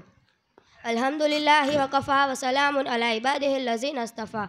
अम्मा बाद सदर मोहतरम मेहमान इज़ाम और मेरे अज़ीज़ साथियों, आज 15 अगस्त 2024 की शक्ल में हमें अपने मुल्क भारत का सतहत्तरवा यौम आज़ादी नसीब हुआ। आज मैं अपने मुल्क की आज़ादी पर बेहद इतमान और खुशी महसूस कर रही हूँ और तमाम परेशान कन हालात के बावजूद अपने पुरज़म जज्बात और हौसलों में कुछ बातें आप जैसे गयूर और दानश्वर हजरात के सामने रखने की कोशिश कर रही हूँ। बुजुर्गान मोहतरम। किसे खबर नहीं है कि उन्नीस में हमारा प्यारा मुल्क हिंदुस्तान अंग्रेज़ों के नापाक चुंगल से आज़ाद हुआ। यहाँ के बसने वाले सभी रंगों नस्ल के लोगों को आज़ादी की ज़िंदगी मैसूर हुई। आज़ादी इंसान का फितरी हक है। इंसान अपने बनाने वाले खाली के हकीकी के सिवा किसी की गुलामी कबूल नहीं कर सकता। ये उसकी मिजाज के ख़िलाफ़ है। इंसान सिर्फ़ और सिर्फ़ अल्लाह की बंदगी और ग़ुलामी करने का मुकलफ है, बल्कि इसके लिए अल्लाह की ग़ुलामी बाई से फ़र्क है। इसलिए कि वह मालिक सबसे बड़ा है, सबसे ज़्यादा ताकतवर है, सबसे ज़्यादा रहम करने वाला और सबसे ज़्यादा मेहरबान है। उसी की मंशा के मुताबिक आदमी को रोज़ी मिलती है। वही नवाजता है, वही कंगाल बना देता है, वही इज़्ज़त बख्शता है, वही जलील कर देता है, वही बीमार करता है, वही सिफा देता है। गर्ज यह है कि वह हर चीज़ पर कादिर है। लेकिन अगर कोई इंसान अपने जाहो जलाल और मालो दौलत के बाइश चाहे कि दूसरे लोग उसकी गुलामी करें, हर काम में उसकी इतबा करें तो यह इंसानी फितरत के खिलाफ है। यही वजह है कि दुनिया में बड़े बड़े धर्म खाए, जिन्होंने चाहा कि इस दुनिया को अपना गुलाम बनाकर रखा जाए। बड़े बड़े बादशाह गुजरे, जिन्होंने चाहा कि इंसानों से अपनी परस्टिश कराए लेकिन बिल आखिर वह नाकामा और नामुराद होकर रह गया। ज़िल्लत और रसवाई और कौमों की बगावत ने उन्हें कहीं का ना छोड़ा। खुदा के अजाब ने उन्हें ऐसा जकड़ा कि वो रहती दुनिया तक के लिए निशान इबरत बन गए। बस आखिर में मैं अपनी तकरीर का पहला हिस्सा ख़त्म करती हूँ। वह आखिर दावान अलहमदिल्ला रबालमीन माशा अब दूसरे हिस्से को पेश करने के लिए उमेज़ा पठान को दावत देता हूँ कि वह आकर अपनी तकरीर का दूसरा हिस्सा पेश करे।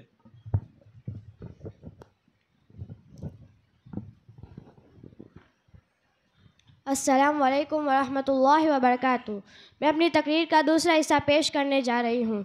अल्हम्दुलिल्लाह वकफ़ा वसलाम इबादिही लजीन अस्तफ़ा अम्माबाद सदर मोहतरम, मेहमान एज़ाम और मेरे अज़ीज़ साथियों आज से 250 बरस पहले हमारे मुल्क हिंदुस्तान पर अंग्रेज़ों ने अपना तसलुत कायम कर लिया था। 1750 तक पूरा मुल्क अंग्रेज़ी ईस्ट इंडिया कंपनी का गुलाम हो चुका था। 1750 में बंगाल के नवाब सिराजुद्दौला को यह अंदाज़ा हो गया था कि अंग्रेज़ इस मुल्क में तिजारत करने नहीं आए हैं, बल्कि इसे ग़ुलाम बनाने आए हैं, इस देश को लूटने आए हैं। लिहाजा मुल्क के मुख्तलिफ़ गोशों में अहल दानिश की आँखें खुली तो अंग्रेज़ों के ख़िलाफ़ बगावत बुलंद हुआ, एहतजाज हुए। लोग सड़कों पर आए तो अंग्रेज़ों ने उन्हें मारना और गिरफ़्तार करना शुरू कर दिया। अंग्रेज़ों के ख़िलाफ़ आवाज़ उठाने का मतलब बड़ा ख़तरनाक साबित होने लगा। फिर लोगों ने खुफिया प्लानिंग शुरू की कुछ जमातों ने पूर अमन एहतजाज का सिलसिला जारी किया। जंग जदल का दौर चला। मुल्क के तूलो अर्ज़ में सैकड़ों मैदाने जंग खून से सुर्ख हुए। लाखों लोगों को तख्तेदार यानी स्लीप पर चढ़ा दिया गया। हज़ारों कराम को आग में डालकर सज़ाए मौत दी गई। अगर यह मुल्क को आज़ाद कराने की लड़ाई में हिंदू, मुस्लिम, सिख, ईसाई सब शरीक थे, लेकिन जानते हो सबसे आगे कौन लोग थे? सबसे ज़्यादा जंगें किसने लड़ी? तुम्हें मालूम है इस मुल्क के लिए सबसे ज़्यादा गर्दनें किन की कटी? सबसे ज़्यादा जाने किन्होंने गवाई? सबसे बढ़कर कुर्बानियाँ किन्होंने दी?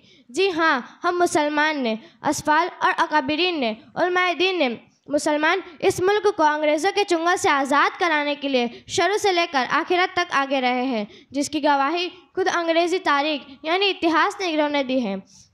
जामीन किराम। हम सब जानते हैं कि मुजाहिदीन आज़ादी की अनहद कोशिश के बाद, लाखों अफराद की कुर्बानियों के बाद उन्नीस को हमारा मुल्क आज़ाद हुआ और आज मुल्क की आज़ादी को अठहत्तर साल मुकम्मल हो गए। लेकिन आपको मालूम है, जालिम अंग्रेज़ इस आज़ाद मुल्क को कई तरह की मुसीबतों में डाल कर गया था। बस आखिर में मैं अपनी तकरीर का दूसरा हिस्सा ख़त्म करती हूँ। वाखिर दावान रबालमीन माशा अब तीसरा हिस्सा पेश करने के लिए मारिया मुल्तानी को दावत देता हूँ कि वह आकर तकीर का तीसरा हिस्सा पेश करे।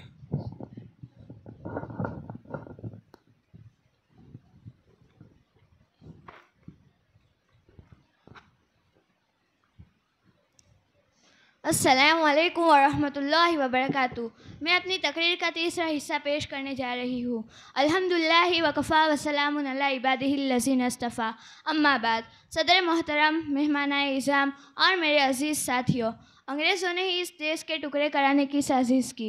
अंग्रेज़ों ने ही इस देश में हिंदू मुस्लिम को लड़ाने के लिए नफ़रत और फसाद का बीत बोया। अंग्रेज़ों तो चले गए, लेकिन अपने बाद अपने हज़ारों हिमायतकारों और इस देश के गद्दारों को छोड़ गए, जिन्होंने कल तक अंग्रेज़ों के तलवे चाटे थे और चंद पैसों और अहदों के लिए जालिम अंग्रेज़ों का साथ दिया था। वही बाद में चलकर इस मुल्क की पूर, अमन, फ़िज़ा के लिए जहर आलूद वायरस बन गए। अंग्रेज़ों के बाद यही लोग अंदरून खाना इस मुल्क में हिंदू मुस्लिम की आग भड़काते रहे, दंगे करवाते रहे। मुसलमानों को आतंकवादी बताकर हिंदू भाइयों को डराते रहे। आज सात सत्तर साल की साजिशों का नतीजा है कि मुल्क पर उन्हीं की पैरोकारी की हुकूमत कायम है। हज़ारों कोशिशें हो रही है कि मुल्क को फिर से गुलाम बनाया जाए। मुल्क की जमहूरियत पर डाके डाले जा रहे हैं। आइन की किताब में तारीफ़ व तरमीम की जा रही है। बेकसूरों को सरेआम मारा और काटा जा रहा है। हक वालों का हक छीना जा रहा है। मुसलमानों से इस मुल्क की सहूलियत मांगी जा रही है। ये सब इसलिए हो रहा है कि इस आज़ाद देश को हिंदू राष्ट्र बनाकर फिर एक बार गुलामी की जंजीरों में जकड़ दिया जाए। लेकिन इनका ये नापाक इरादा कभी पूरा नहीं हो सकता। इनका एक ख्वाब कभी शर्मिंदाए ताबीर नहीं हो सकता। इसलिए कि मुल्क का हर बासिंदे को जमहूरियत पसंद है। अगर इस मुल्क को गुलामी की तरफ़ धकेला गया तो इस देश का अक्लमंद हिंदू, इस मुल्क का अमन पसंद मुसलमान, इस मुल्क का अमन पसंद ईसाई और इस देश का इंतहाद पसंद शीख खामोश नहीं बैठेगा। हुकूमत की कुर्सियों पर बैठने वाले, अगर वो आरतीयात में तब्दीली करके, अगर वो ट्रिपल तलाक बिल पास करके, अगर वो मीडिया पर कब्जा जमा कर, अगर वो देश के मशहूर मकामत को गिरवी रख कर अगर वो दो कौड़ी का आईटी सेल बनाकर, अगर वो आरएसएस की दलाली का दम भरकर, अगर वो सेक्युलर देश में हिंदू राष्ट्र की बात करके इस खुश फहमी में मुबतलब है कि इस देश को गुलाम बनाना आसान है यह उनकी खाम ख्याली है, ये उनकी गलत फहमी और खोटी सोच का नतीजा है। इसलिए कि इस मुल्क को गुलाम बनाना मुमकिन ही नहीं, नामुमकिन है। ये देश आज़ाद था, आज़ाद है और आज़ाद रहेगा। वाखिर माशा तीनों बच्चों ने बहुत अच्छे अंदाज में तकरीर पेश की और उन्होंने अपनी तकरीर की तैयारी मौना मोहम्मद नारोज साहब की निगरानी में की है। अल्लाह तबारक व उस्ताद और बच्चियों की मेहनत को कबूल फरमाए। अब आखिर में हमारे देश ने इस मुल्क को क्या दिया है? इस उनवान पर नज़म पेश करने के लिए हुदा पटेल, सामिया बोहरा, आयशा कुरैशी को दावत देता हूँ कि वह अपनी नज़म को पेश करें।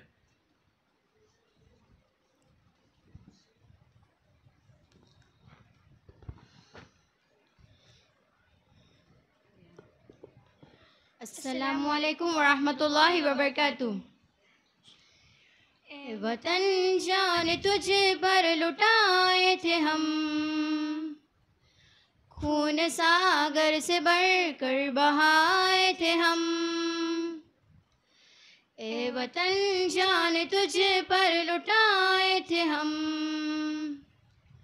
खून सागर से बढ़कर बहाए थे हम सिंध हो या हो गुजरात, दिल्ली दकिन है हमारा भी हक तुझ पे भारत वतन, है हमारा लहू तुझ में गंगो जमन, तेरे लाला वो गुल हम भी है ए चमन, जुल्फ बर हमको तेरे सजाए थे हम, जुल्फ बर हमको तेरे सजाए थे हम।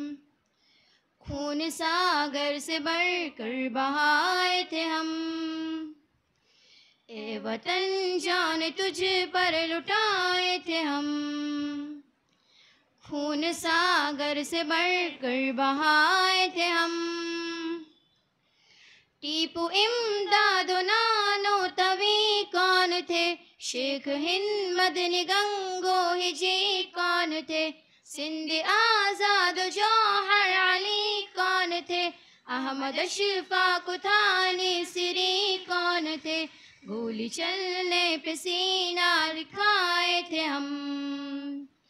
गोली चलने पे सीना दिखाए थे हम। खून सागर से बढ़कर बहाए थे हम।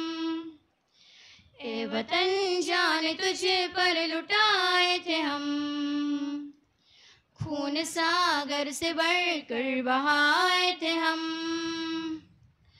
वक्त मुश्किल पे संग तेरे हम थे खड़े, जिसमें सड़कों पे कट कर हमारे गिरे। सूलियों पे तेरे वास्ते हम चढ़े, तेरी खातिर सदा दुश्मनों से लड़े। तेरे दुश्मन पे बिजली गिराए थे हम।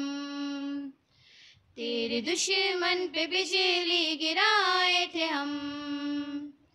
खून सागर से बढ़कर बहाए थे हम। ए वतन जान तुझे पर लुटाए थे हम। खून सागर से बढ़कर बहाए थे हम। मिसल बम, तेरे दुश्मन पे हम ही फटे। तेरी खातिर सदा सर हमारे कटे। खौफ खा कर कभी दुश्मनों से तेरे। हम मुसलमान हरगिज न पीछे हटे। मरते मरते भी तुझको बचाए थे हम। मरते मरते भी तुझको बचाए थे हम। खून सागर से बढ़कर बहाए थे हम। ए वतन जान तुझ पर लुटाए थे हम। खून सागर से बढ़कर बहाए थे हम। तेरी मिट्टी को हमने किया आसमां, तेरे जर्रों को हमने किया कहकशा, तेरे सहरा को हमने किया गुलसिता हम जाफ़र हकीकत में है बागबा। तुझको जन्नत नुमा भी बनाए थे हम। तुझको जन्नत नुमा भी बनाए थे हम। खून सागर से बढ़कर बहाए थे हम। ए वतन जान तुझ पर लुटाए थे हम। खून सागर से बढ़कर बहाए थे हम। खून सागर से बढ़कर बहाए थे हम। वरहमतुल्लाहि वबरकातुहू। माशाअल्लाह तीनों बच्चियों ने बहुत अच्छे अंदाज और लहजे में नज़म पेश की। उन्होंने अपने नज़म की तैयारी अपनी आपा फ़ातिमा आपा की निगरानी में तैयार की है। अब मैं हमारे ज़िम्मेदार माजी प्रिंसिपल आमला साहब को दावत देता हूँ कि वह आज के प्रोग्राम के ऊपर अपना तासर पेश करें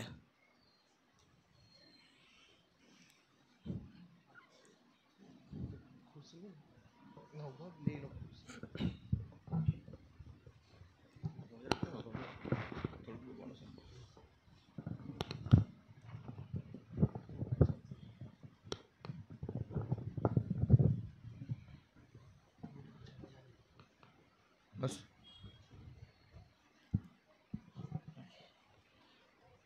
अस्सलामुअलैकुम वरहमतुल्लाहि वबरकातुहू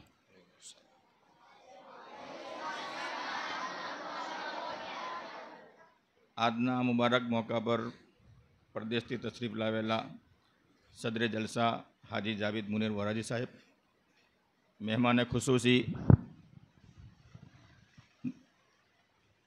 મુફ્તી સલમાન ભામ સાહેબ ટ્રસ્ટી સાહેબો અસાતિજા ઇકરામ મોલ્લિમાત આપાઓ અને પ્યારા બચાવો આઝાદીના પર્વે જંગે આઝાદીમાં મુસલમાનોએ શું કુરબાની આપી તે ઉન્વાન ઉપર મદ્રેસા ફૈઝે આમના અંદર આ સૌ પ્રથમવાર જે આ પ્રોગ્રામ પેશ કરવામાં આવ્યો તે બદલ હું તમને બધાને અસાતિજા ઇકરામને મુઅલ્લિમાતને અને તમામ બચ્ચાઓને ખૂબ ખૂબ મુબારકબાદ આપું છું. કારણ કે આવનારા દિવસોની અંદર મુસલમાન નવયુવાનોએ આઝાદીના, આ પર્વે આઝાદીની ચળવળના અંદર મુસલમાનોએ જે શું કુરબાની આપી અને મુસલમાનોએ શું ભાગ લીધો એ જાણવું ખૂબ જરૂરી છે. કારણ કે આ બચ્ચીઓએ જે નજમ પેશ કરી અને તે પહેલાં જે તકરીર પેશ કરવામાં આવી તેની અંદર જે બતાવવામાં આવ્યું કે આપણા જ મુલ્કના અંદર આપણને પારકા સમજવામાં આવે છે, આપણને આતંકવાદી સમજવામાં આવે છે.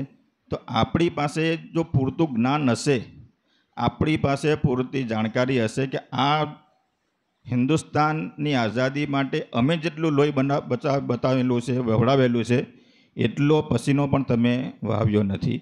એ આપણી પાસે ક્યારે આપણે એની કરી શકીએ? આપણે દરેક બાબતમાં મુકાબલો કરી શકવાનો નથી, પરંતુ આપણી જાણકારી અને ઇલ્મના કારણે આપણે જો આપણી પાસે જાણકારી હશે, તો જ આપણે એમનો મુકાબલો કરી શકીશું. એટલે આ બાબતમાં તમે જે પહેલ કરી, તે બદલ સદર મુદરરીસ હાફિઝ સફી કમલા, દીગર ઉસ્તાદ સાહેબોને ખૂબ ખૂબ મુબારકબાદ આપું છું અને બચ્ચાઓએ પણ ખૂબ સારી રીતે દરેક આઇટમો પેશ કરી, તે બદલ પણ મુબારકબાદી આપું છું. અને ઉમ્મીદ રાખું કે આપણા મદરેસા ઇસ્લામિયા ફૈઝે અમને વધારે ને વધારે તરક્કી આપે અને આવા પ્રોગ્રામો વક્તન ફવક્તન કરતા રહે કે જેના કારણે આ બચ્ચાઓને પણ નવી નવી જાણકારી મળતી રહે અને આ બચ્ચાઓ સમાજની અંદર કંઈક જાણકારી લઈને બહાર નીકળે એ જ અસલામ આલેકુમ વરહમતુલ્લાહ વબરકાત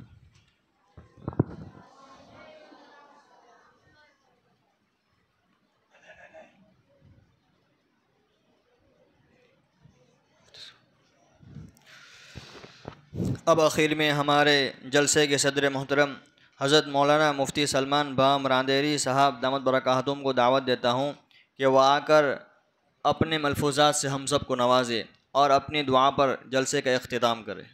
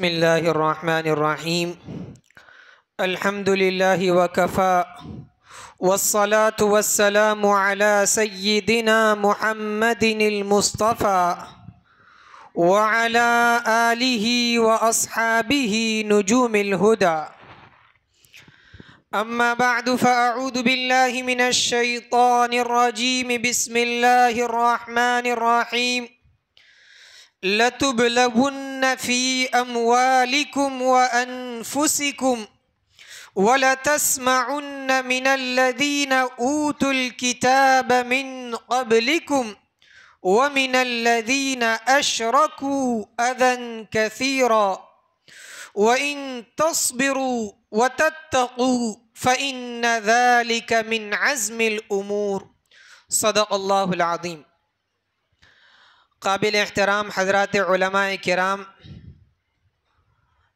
इस इज़ाम,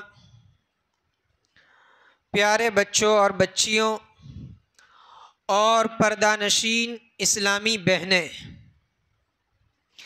सबसे पहले तो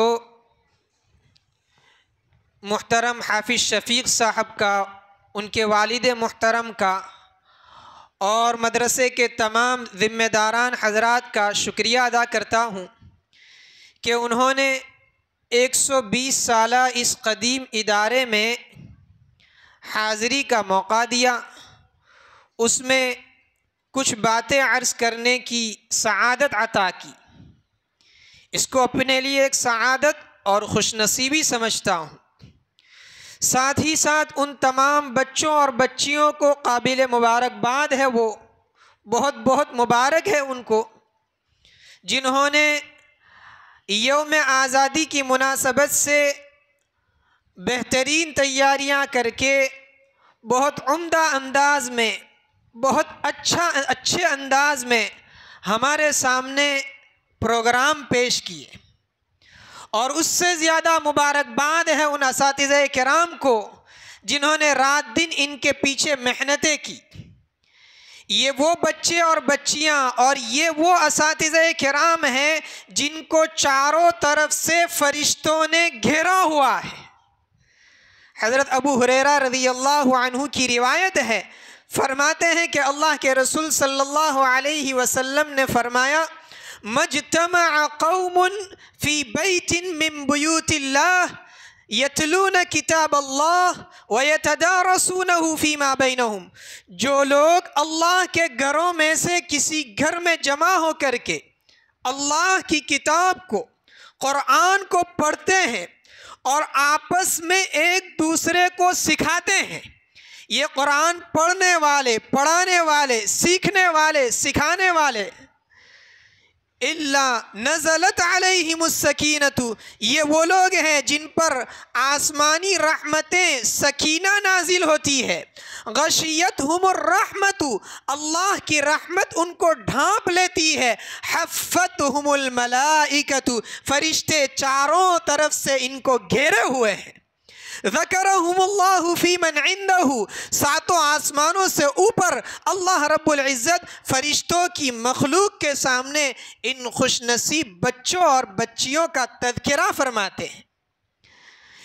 कितनी बड़ी फजीलत की बात है। इतनी बड़ी फजीलत को हम इतनी सहूलत और आसानी के साथ बिजली और पंखे के नीचे बैठ कर के हासिल कर रहे हैं।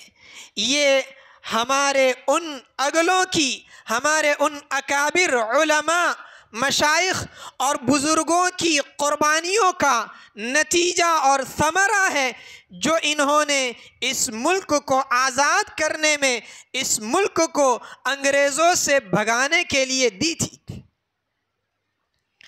अभी हज़रत मौलाना ने बतलाया कि ये इदारा 120 साल पुराना है। मालूम हुआ हमारे इस मदरसा फैज़ आम के साथ भी हिंदुस्तान की आज़ादी की तारीख जुड़ी हुई है। योम आज़ादी की मुनासबत से मुनद होने वाले इस इजलास में आज़ादी के मुतालिक चार बातें अर्ज़ करना है। सबसे पहली बात तो ये कि दीन इस्लाम में आज़ादी का क्या तस्वुर है? इस्लाम ने आज़ादी को क्या अहमियत दी है? दूसरी बात ये कि हमारे नौजवान मुसलमानों ने, बच्चों और बच्चियों ने आज़ादी किस चीज़ को समझा है? उनके ख्याल में, उनके मफहूम में आज़ादी क्या है? तीसरी बात अर्ज़ करना है कि आज़ादी के साथ मुसलमानों की और खसूस के तबक़े की क्या कारगुजारी रही है? और चौथी बात यह अर्ज़ करना है कि अब इस मुल्क को कौन सी आज़ादी की ज़रूरत है? सबसे पहले तो आज़ादी किसको कहते हैं? इस्लाम में आज़ादी का क्या तस्वुर है?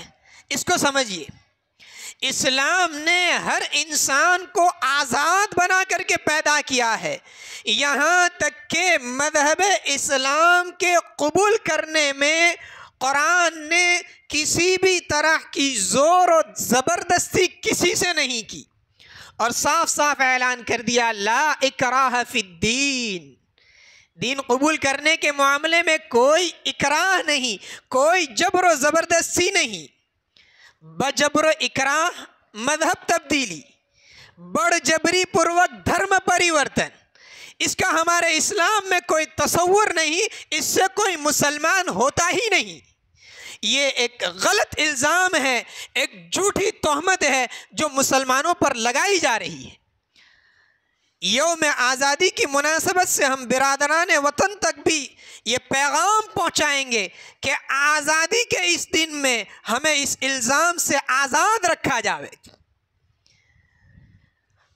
इंसान अल्लाह की ग़ुलामी के लिए पैदा हुआ है। अल्लाह के अलावा किसी और की ग़ुलामी ये नहीं करेगा। इसलिए अल्लाह रब्बुल इज़्ज़त ने इंसानों को हक दिया है आज़ादी के साथ ज़िंदगी गुजारने का और कुरान ने जगह जगह ग़ुलामों को आज़ाद करने के फ़वाइल बयान किए हैं। फ़लक तहमल अक़बा वमा अदरा कमल अक़बा रक़बा। कुरान कहता है, क्या इंसान मशक्क़त वाली घाटी पर नहीं चढ़ता? अब मशक्क़त वाली घाटी पर चढ़ना क्या है? कुरान खुद पूछ रहा है कि ये क्या है? वमा अदरा कमल अक़बा। आपको मालूम भी है, ये घाटी पर चढ़ना क्या है?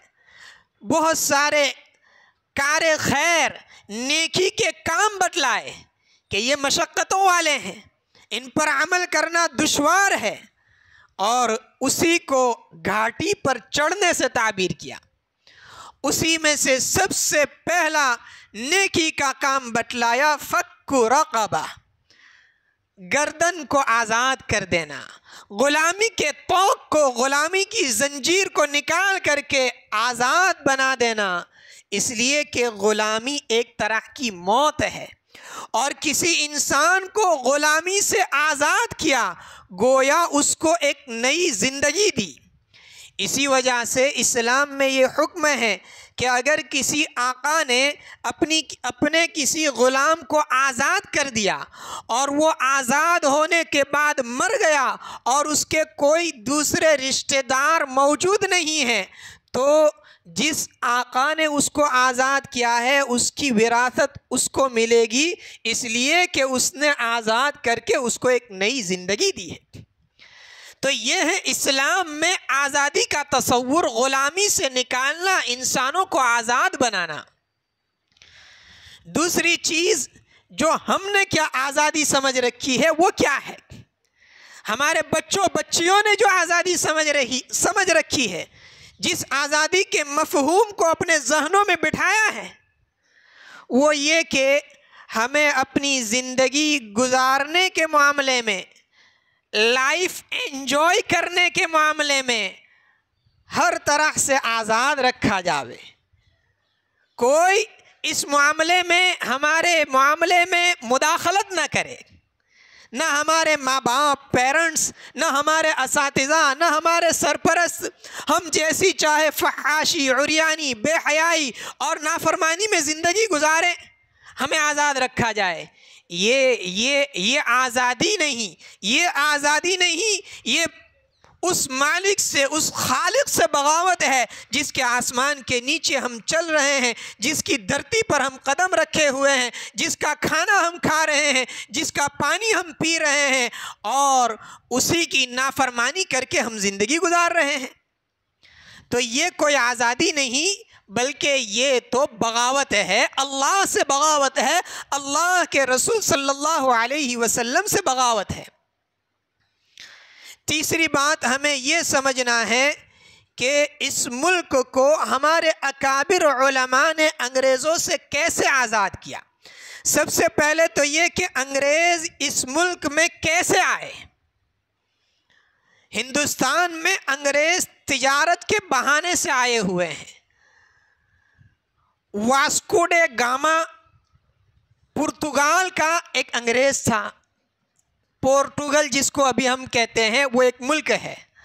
उसने अफ्रीका के एक हिंदुस्तानी बाशिंदे को अगवा कर लिया। ज़बरदस्ती उस पर दबाव डाला कि किसी तरह मुझे हिंदुस्तान का रास्ता बतलाया जाए, इस वजह से कि ये सन 1400 ईस्वी से 1600 ईस्वी के दरमियान की बात है कि उस ज़माने में हमारा ये मुल्क हिंदुस्तान सोने की चिड़िया समझा जाता था। ये सोना उगल रहा था और इसकी तिजारत और कारोबार दूर दूर तक फैले हुए थे। इस वास्कुडे गामा ने बहरी रास्ते से, समंदर के रास्ते से हिंदुस्तान सफ़र करके बहुत सारे हमारे हिंदुस्तानी काफ़िलों को लूटा था और फिर वो हिंदुस्तान आया था। और उसने सबसे पहले हमारे इसी इलाक़े सूरत में, सूरत शहर में सन 1612 ईस्वी में ईस्ट इंडिया कंपनी की बुनियाद रखी थी और तिजारत शुरू की। Aahista Aahista east India company की ये तिजारत फैली। और अंग्रेज़ों ने बम्बई में अपनी बहुत सारी तिजारती कोठियाँ कायम की। और वहाँ से आगे बढ़ते हुए वो कलकत्ता, बंगाल पहुँचे। वो वहाँ से गरम मसाले और रेशमी सूत, प्योर सिल्क जो कपड़े होते थे, उसको बरामद करते थे उसको बैरून मुल्क एक्सपोर्ट करते थे। इब्तदा में तो ये एक तिजारत थी, तिजारती कंपनी थी। आहिस्ता आहिस्ता उसने मुल्क में अपने कदम जमाने शुरू किए और अपनी फौजी छावनियाँ तैयार करनी शुरू कर दी। जब फौजी छावनियाँ तैयार करनी शुरू की तो उस वक्त के हुक्मरानों को उसका इल्म हुआ उन्होंने फौरी तौर पर उस पर रोक लगाई और उनके माल को और उनके जायदाद वगैरह को छीन लिया। और उनको इस बात पर मजबूर किया कि वो यहाँ रहते हुए तिजारत के अलावा और कोई सरगर्मियाँ न करें। सन 1707 ईस्वी में आलमगीर औरंगज़ेब रहमतुल्लाह अलैह की वफ़ात हुई है। जब तक उनकी वफ़ात हुई, उस वक्त तक किसी अंग्रेज़ को सर उठाने का मौका नहीं मिला था। सन 1707 ईस्वी में इनकी वफ़ात के बाद फिर अंग्रेज़ों ने अपने कदम जमाने और फैलाने शुरू किए। बंगाल, कलकत्ता के नवाब सिराजुद्दौला पर उसने हमला कर दिया। सिराजुद्दौला ये अपने नाना अली वर्दी के जानशीन थे।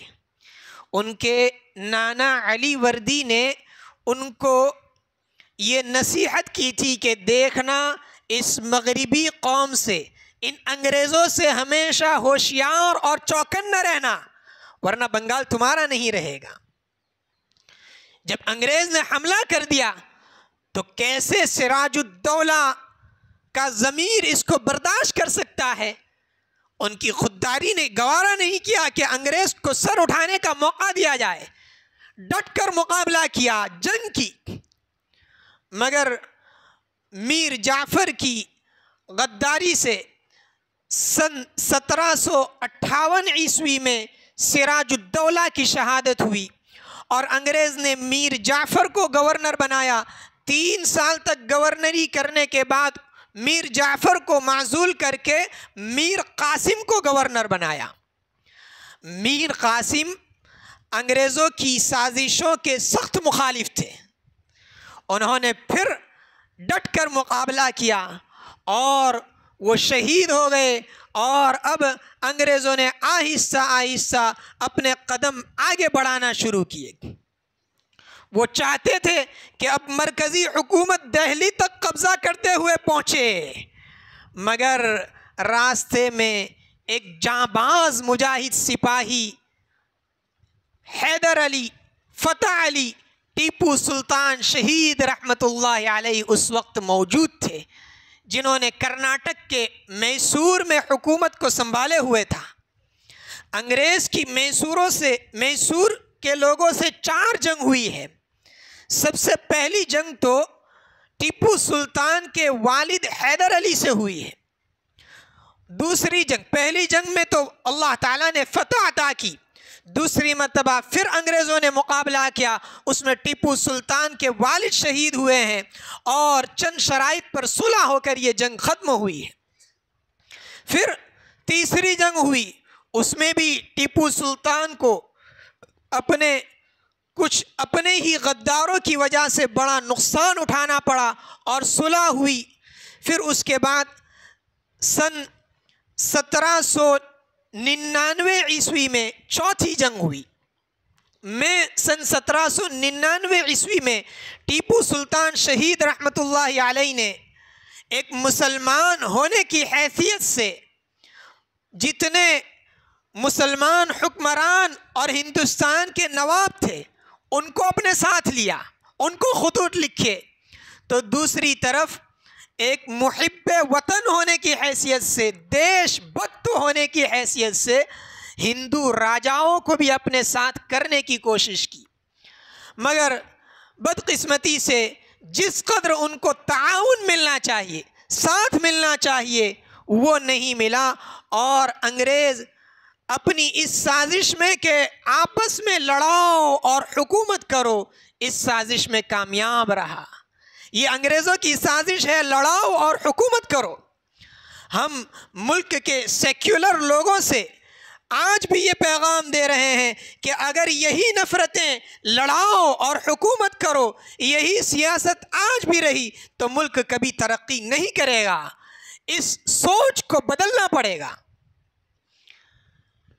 चार जून, चार मई सन 1900 सन सत्रह सौ निन्यानवे ईस्वी में टीपू सुल्तान सुबह से अपनी फौज के साथ अंग्रेज़ों के मुकाबले के लिए लड़ रहे थे।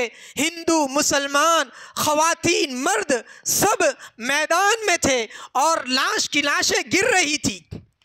उस मौके पर टीपू सुल्तान शहीद रहमतुल्लाह अलैह का एक नौ मुस्लिम फौजी था राजा खान। उसने टीपू सुल्तान से ये कहा कि अब भी ज़रा संभल जाइए, ज़रा अपने आप पर रहम खा लीजिए, ज़रा अपने बीवियों के बेवा होने की, अपने बच्चों के यतीम होने की कुछ खबर ले लीजिए और अब भी सुलह कर लीजिए। टीपू सुल्तान शहीद रहमतुल्लाह अलैह गुस्से में आ जाते हैं और उस वक्त उन्होंने एक जुमला कहा है। वो जुमला हम सबको याद रखना है। टीपू सुल्तान शहीद रहमतुल्लाह ने उस वक्त लड़ते हुए मैदान कारजार में ये जुमला कहा था कि शेर की एक दिन की ज़िंदगी, शेर की एक दिन की ज़िंदगी, गीदड़ की सौ साल ज़िंदगी से अच्छी है। हम अपनी जान देने के लिए तैयार हैं, मगर हम बातिल पर किसी भी तरह समझौते के लिए हरगिज हरगिज तैयार नहीं। टीपू सुल्तान शहीद रहमतुल्लाह अलैह दिन भर लड़ते रहे।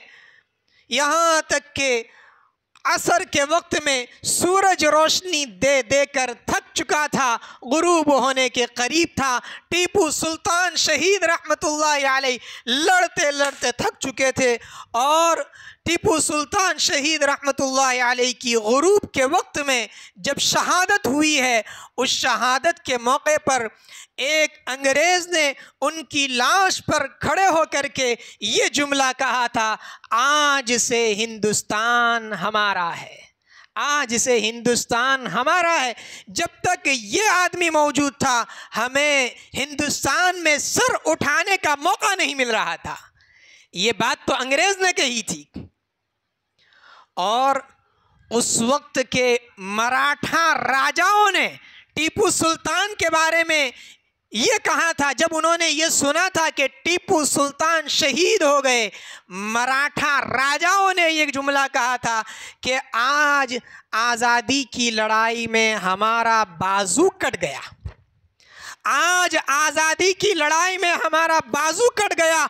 हमारी बहुत सारी फौजें मिल करके अंग्रेज़ का ऐसा मुकाबला नहीं कर सकती, जैसा मुकाबला टीपू सुल्तान शहीद रहमतुल्लाह अलैह की एक फ़ौज ने किया था। टीपू सुल्तान की शहादत के बाद से अंग्रेज़ को सर उठाने का मौका मिल गया और देखते ही देखते ये लाल किले तक पहुँच करके अपना परचम लहनाने लगा। तो उस वक्त में शाह वलीउल्लाह मुहद्दिस दहलवी अलैह के जानशीन शाह अब्दुल अज़ीज़ मुहद्दिस दहलवी अलैह ने सबसे पहले फतवा दिया कि हिंदुस्तान दारुल हर्ब हो चुका है और यहाँ रहते हुए अंग्रेज़ों के मुकाबले में जंग करना और लड़ना हर मुसलमान पर लाजिम है, हर मुसलमान का फरीज़ा है। हमसे आज ये पूछा जा रहा है कि मुसलमानों ने हिंदुस्तान की आज़ादी में क्या किरदार अदा किया? ये एक सवाल है। ये सवाल गलत है। ये सवाल ही गलत है। सवाल ये पूछना चाहिए कि मुल्क की आज़ादी में मुसलमानों ने क्या नहीं दिया? क्या कुछ नहीं किया? सबसे पहले आज़ादी का ख्याल और तस्वुर जिसके जहन में आया है, वो मुसलमान है। सबसे पहले आज़ादी की बात जिसने अपनी ज़ुबान से निकाली है, वो मुसलमान है। सबसे पहले आज़ादी के लिए जंग का जिसने फतवा दिया है, वो मुसलमान है। सबसे पहले आज़ादी के लिए तर्क मुआलात का, यानी अंग्रेज़ों की सारी चीज़ों का बाइकाट करने का फतवा अगर किसी ने दिया है तो वो मुसलमान है। आज़ादी की लड़ाई में जिसको माल्टा की जेल में भेजा गया वो मुसलमान है। आज़ादी की लड़ाई में जो बालाकोट के मैदान में, जो जलियांवाला बाग में शहीद हुए हैं, वो मुसलमान हैं। आज़ादी की लड़ाई में जिन्होंने कायदाना किरदार अदा किया है, लीडरशिप संभाली है, वो मुसलमान हैं। शाह अब्दुल अज़ीज़ मुहद्दिस दहलवी अलैह के इस फतवे ने पूरे मुल्क में एक आग बर्पा कर दी। और जगह जगह आज़ादी की तहरीकें शुरू हो गई। सैयद अहमद शहीद रहमतुल्लाह अलैह और शाह इस्माइल शहीद रहमत अलैह, जो भतीजे हैं, शाह अब्दुल अज़ीज़ मुहद्दिस दहलवी रहमतुल्लाह अलैह के।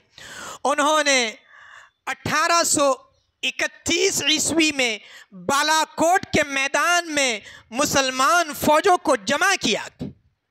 इससे पहले उन्होंने बस्ती बस्ती, शहर शहर, हर जगह जा कर के लोगों को समझाया, मुसलमानों को भी समझाया, हिंदुओं को भी समझाया, आज़ादी की बात उनके कानों में डाली। और जंग के एक दिन पहले शाह इस्माइल शहीद रहमतुल्लाह अलैह ने सबको जमा करके एक खुतबा दिया, एक बयान दिया और ये कहा कि आज की रात अल्लाह ताला के सामने सच्ची पक्की तोबा करो इस्तफार करो, अपने गुनाहों की माफ़ी मांगो। कल को हमें कुफ़ार के मुकाबले में लड़ना है। आइंदा कल हमें कुफ़ार के मुकाबले के लिए लड़ना है। अगर अल्लाह ताला ने फतह अता की, आज़ादी की खुशियाँ देखेंगे, और अगर शहीद हो गए तो जन्नत में मज़े लेंगे। बालाकोट की के मैदान में ये एक खूनरेज जंग हुई, जिसमें सैकड़ों की तादाद में मुसलमान शहीद हुए। और उस जंग के बाद ये नहीं कि उसमें मुसलमानों को शिकस्त हुई तो आज़ादी की तहरीक मध्यम पड़ गई हो, धीमी पड़ गई हो, बल्कि इस जंग ने, इस तहरीक और लड़ाई ने मुसलमानों में एक चिंगारी पैदा कर दी, हिंदुओं में एक चिंगारी पैदा कर दी। और ये लड़ाई आगे बढ़ते बढ़ते सन अट्ठारह ईस्वी में जगह जगह मुल्क की आज़ादी के लिए तहरीकें शुरू हो गई और जंग शुरू हो गई। और उसके बाद मुसलमानों को तरह तरह से आजमाया गया, सताया गया। दिल्ली के चांदनी चौक ही में नहीं, बल्कि अतराफ में कोई दरख्त ऐसा नहीं था कि जिस पर मुसलमान की नाश लटकाई हुई न हो। यहाँ तक के मर्रखीन लिखते हैं, इतिहास लिखने वाले लिखते हैं कि हर दरख्त पर फांसी के फंदे लटकाए गए थे। जहाँ कहीं कोई मुसलमान मिलता, उस मुसलमान को हाथी पर बिठाया जाता। हाथी पर बिठा करके उसके गले को आ, आ, आ उसके गले को फांसी के फंदे में डाला जाता और फिर उस हाथी को चला दिया जाता। फिर क्या होता? एक अंग्रेज़ औरत लिखती है कि उस वक्त मुसलमान शहदा की हालत अंग्रेज़ी के हिंद से एट की तरह हो गई थी। मुसलमानों को मुसलमानों पर यह जुल्म सितम ढाया गया कि उनको तोप के दहाने पर मज़बूत रस्सी बाँध कर रखा जाता और फिर तोप चला दी जाती। और फिर क्या होता? दिल काँप रहा है उस बात को बयान करने के लिए। जैसे कागज़ फाड़ कर उसके पुरचे हवा में उड़ा दिए जावे, ऐसे मुसलमानों की गोश्त बोटी के टुकड़े टुकड़े हवा में लहराते थे। और जैसे ज़मीन पर पानी का छिड़काव किया जाता हो, ऐसे मुसलमानों का खून इस ज़मीन पर छिड़काव किया हुआ होता था। ये कुर्बानियाँ हमारे मुसलमानों ने दी है। मगर उसके बावजूद मुसलमान आज़ादी की लड़ाई में पीछे नहीं हटे। लाखों की तादाद में शहीद हुए और हज़ारों की तादाद में उलमा ने जान दी। ये वो लड़ाई थी अट्ठारह की, जिसमें हाजी इमदादुल्ला महाजिर मक्की अलैहि ने कायदाना किरदार अदा किया था, लीडरशिप संभाली थी। उसमें मौलाना कासिम नानोतवी रहमत अलैहि थे, मौलाना रशीद अहमद गंगोही रहमत अलैहि भी थे, और मौलाना रहमतुल्लाह किरानवी रहमतुल्लाह अलैहि भी थे, और दूसरे बहुत से हमारे किराम थे। हाजी इमदादुल्लाह मुहाजिर मक्की अलैहि, हिजरत कर गए मक्का मुकर्रमा। हाफिज बामिन अलैहि शहीद हो गए। ये भी इसी जंग में शहीद हुए। हाफिज बामिन शहीद अलैहि।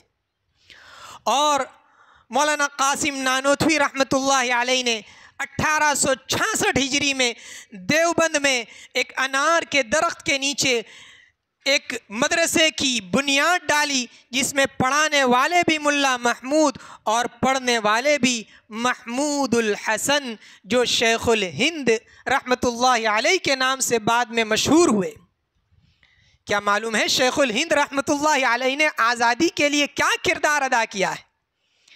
शेखुल हिंद, मौलाना महमूदुल हसन रहमतुल्लाह अलैहि ने तहरीक रेशमी रुमाल की बुनियाद डाली थी।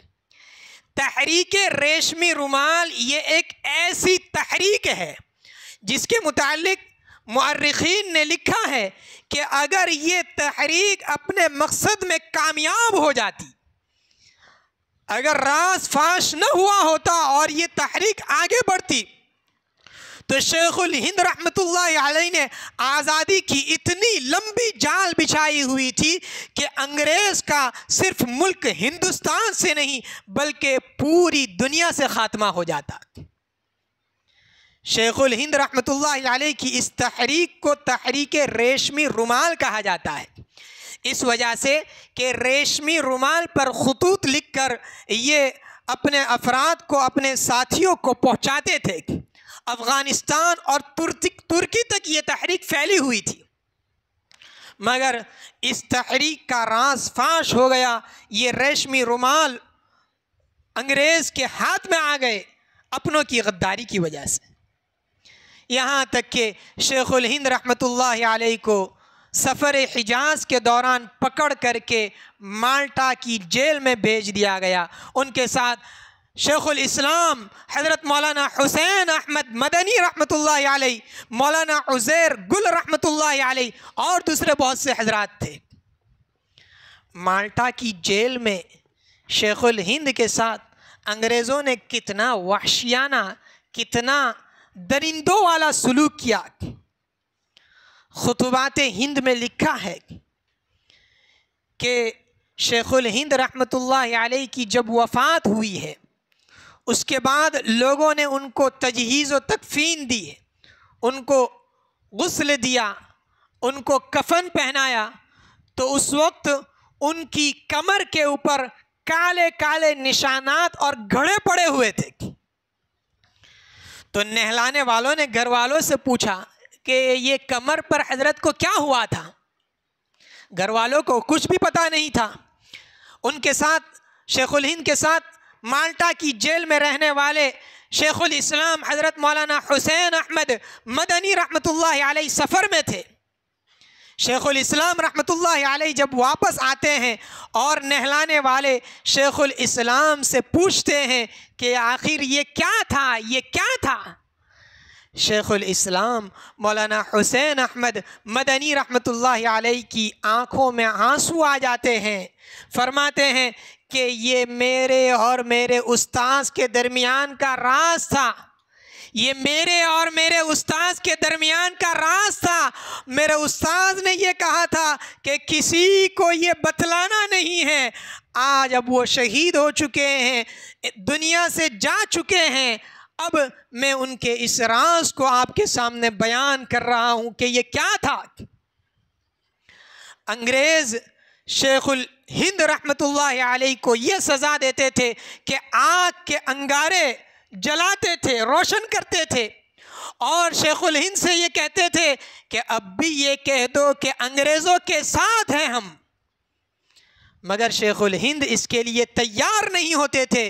तो आग के अंगारों पर शेखुल हिंद रहमतुल्लाह अलैह को लिटाया गया और शेखुल हिंद रहमतुल्लाह अलैह की चमड़ी और चर्बी से वो आग बुझी है।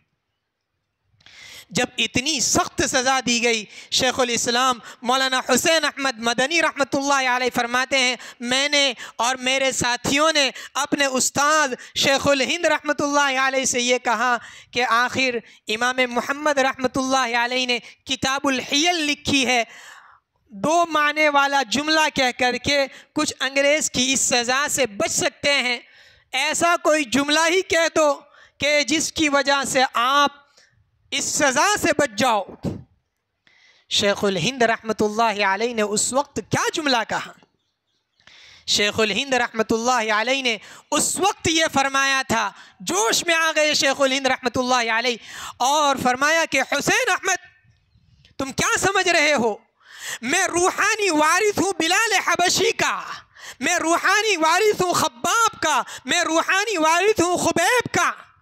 मैं रूहानी वारिस हूँ, इमाम आज़म अबू हनीफ़ा रहमतुल्लाह अलैह का मैं रूहानी वारिस हूँ, इमाम मालिक इबन अनस रहमतुल्लाह अलैह का कसम ब खुदा, कसम ब खुदा, ये लोग मेरे जिस्म से जान तो निकाल सकते हैं। ये लोग मेरे जिस्म से जान तो निकाल सकते हैं, मगर मेरे अंदर से ईमान नहीं निकाल सकते। सन 1920 ईस्वी में शेखुल हिंद रहमतुल्लाह को रिहाई हुई। तो एक बड़ा मजमा बम्बई में उनके इस्तबाल के लिए पहुँच गया।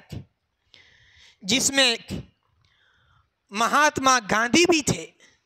महात्मा गांधी को गांधी जी को उसी वक्त मुसलमानों ने महात्मा का लक़ब दिया। गांधी जी को महात्मा का लक़ब देने वाले भी मुसलमान हैं।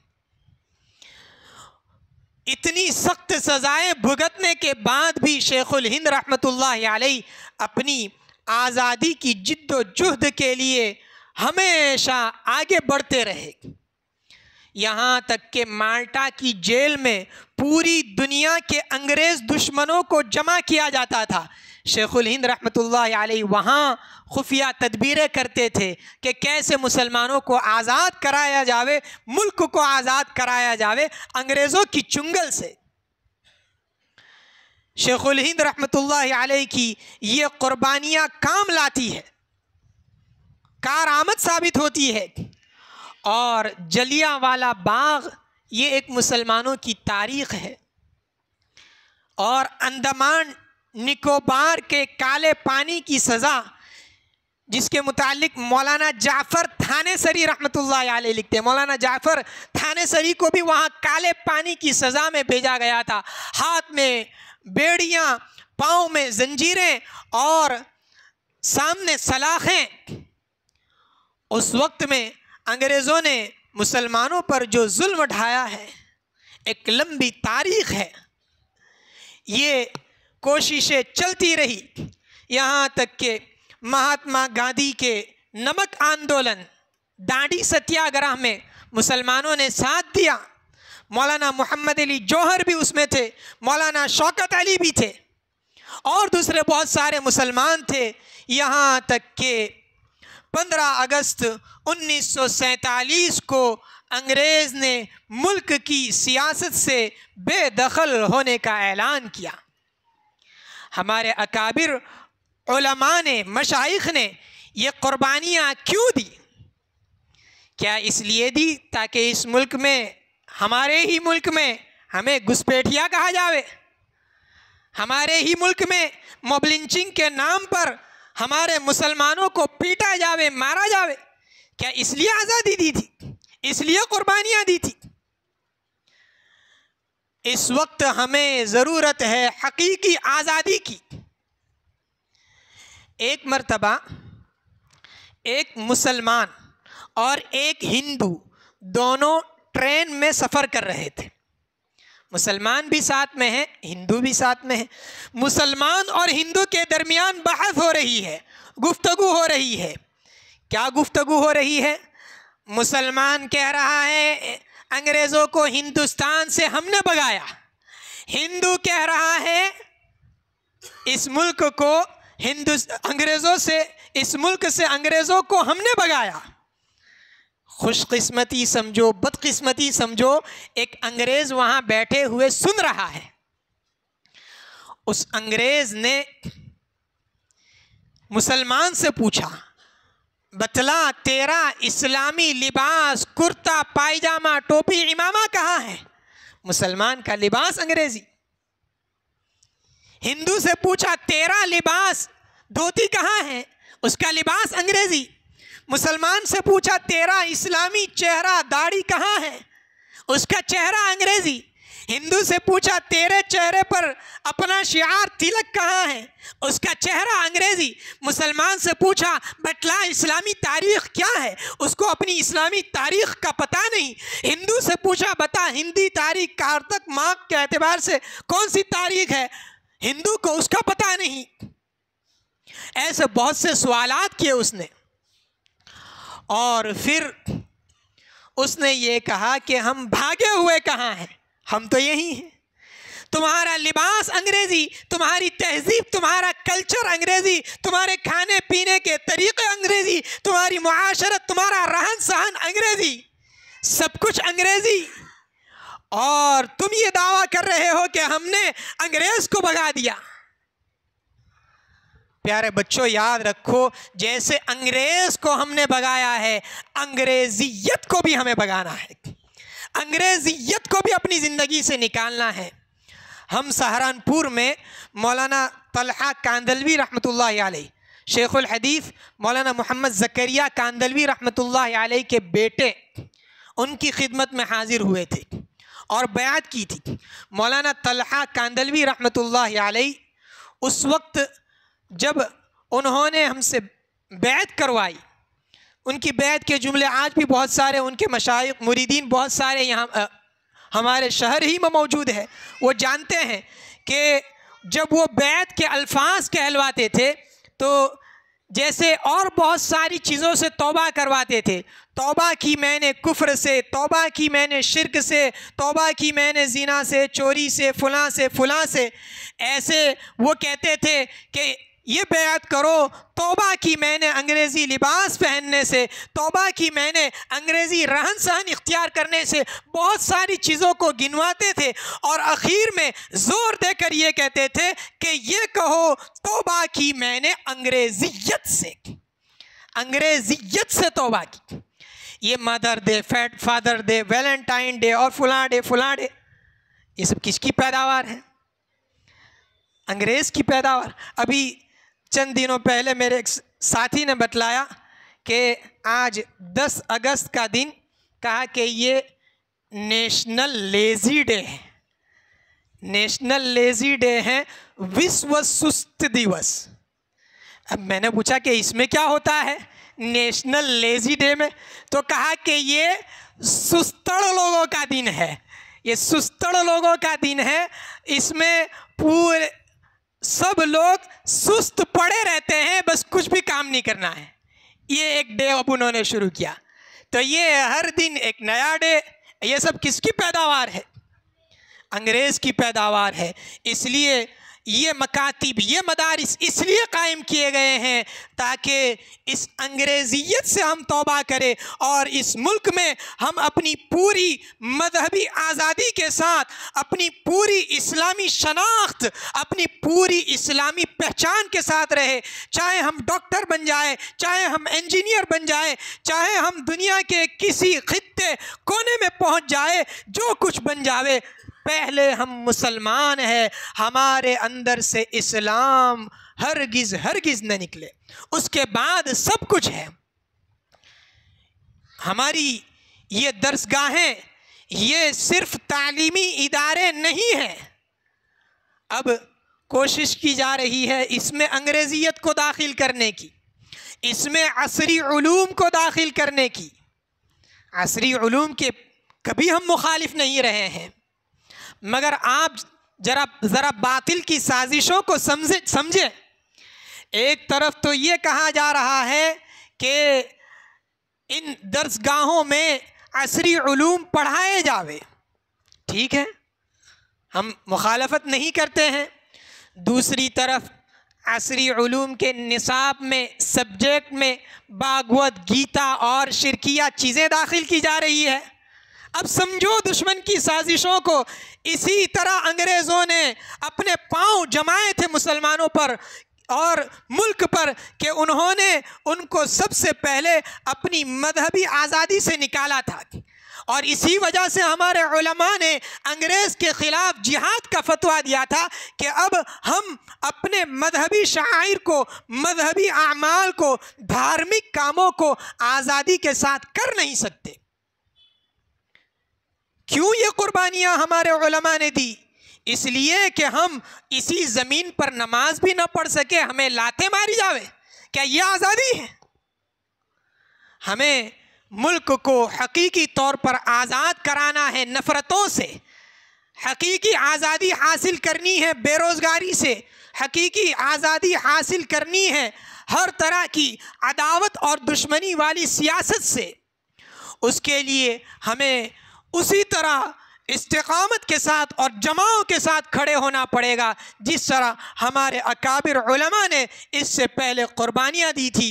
अल्लाह रब्बुल इज़्ज़त हमारे इस इजलास को कबूल फरमाए और हम सबको हमारे उन्हीं अकाबिर और अहलुल्लाह और बुज़ुर्गों के नक्श कदम पर चलते रहने की और उन्हीं की तरह क़ुरबानियाँ देते रहने की तोफ़ी अता फ़रमाएँ। आमीन व आखिर दावाना अनिलहमदिल्ला रब्बिल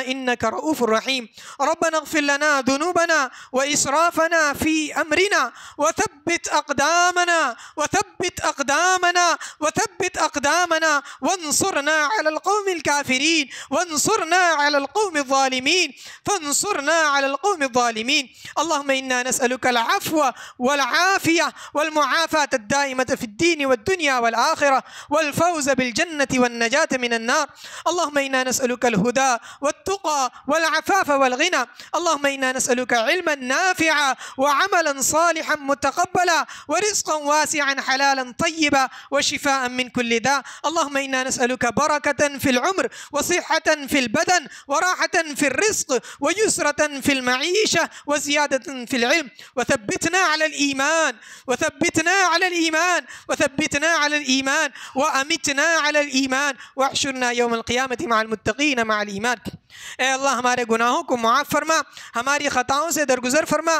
बड़े मुजरिम हैं ालिम हैं, गुनहगार हैं, सियाहकार हैं। रात दिन तेरी नेमतें खा खा करके, तेरी नेमतें इस्तेमाल करके, तेरी ही नाफरमानी की है, तेरी ही नाशुक्री की है। परवरदिगार, हमारे इस जुर्म अजीम को माफ़ फरमा दे। हमारे अगले पिछले जानबूझ कर किए हुए, अनजान कर किए हुए, दिन के उजालों में किए हुए, रात के अंधेरों में किए हुए, तमाम गुनाहों को माफ़ फरमा दे। हमें तेरी मर्जियात वाली ज़िंदगी गुजारने की तोफ़ी नसीब फरमा। तेरी नाराज़गी वाले ज़िंदगी से हम सब की पूरे पूरी हिफाजत फरमा। परवरदिगार, जितने हमारे मुसलमान भाई परेशान हाल है, उनकी परेशानियों को दूर फरमा। बहुत सारे हमारे मुसलमान भाई ऐसे हैं जो बिला वजह कैद बंद की सहूबतें बर्दाश्त कर रहे हैं।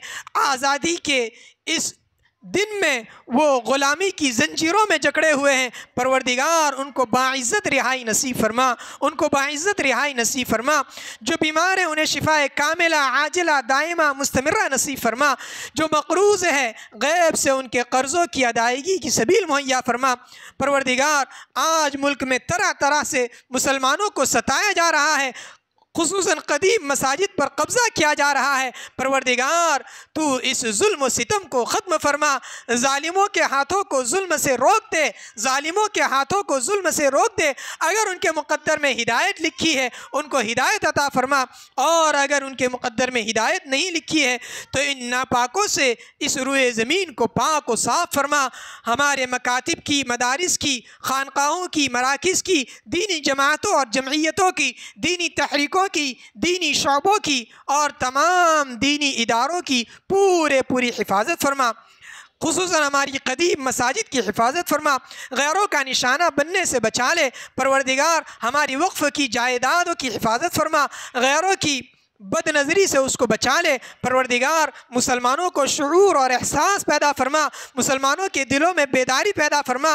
उनको हकीकी आज़ादी की जंग के लिए, लड़ाई के लिए फिर से खड़ा फरमा। और हर तरह की मुल्क की तरक्की के लिए उनको हर तरह के लोगों के साथ शाना बशाना खड़े होकर के मेहनत करने की, कोशिश करने की तौफीक नसीब फरमा। हमारे इन बच्चों, बच्चियों के पढ़ने, पढ़ाने, पढ़ने को कबूल फरमा।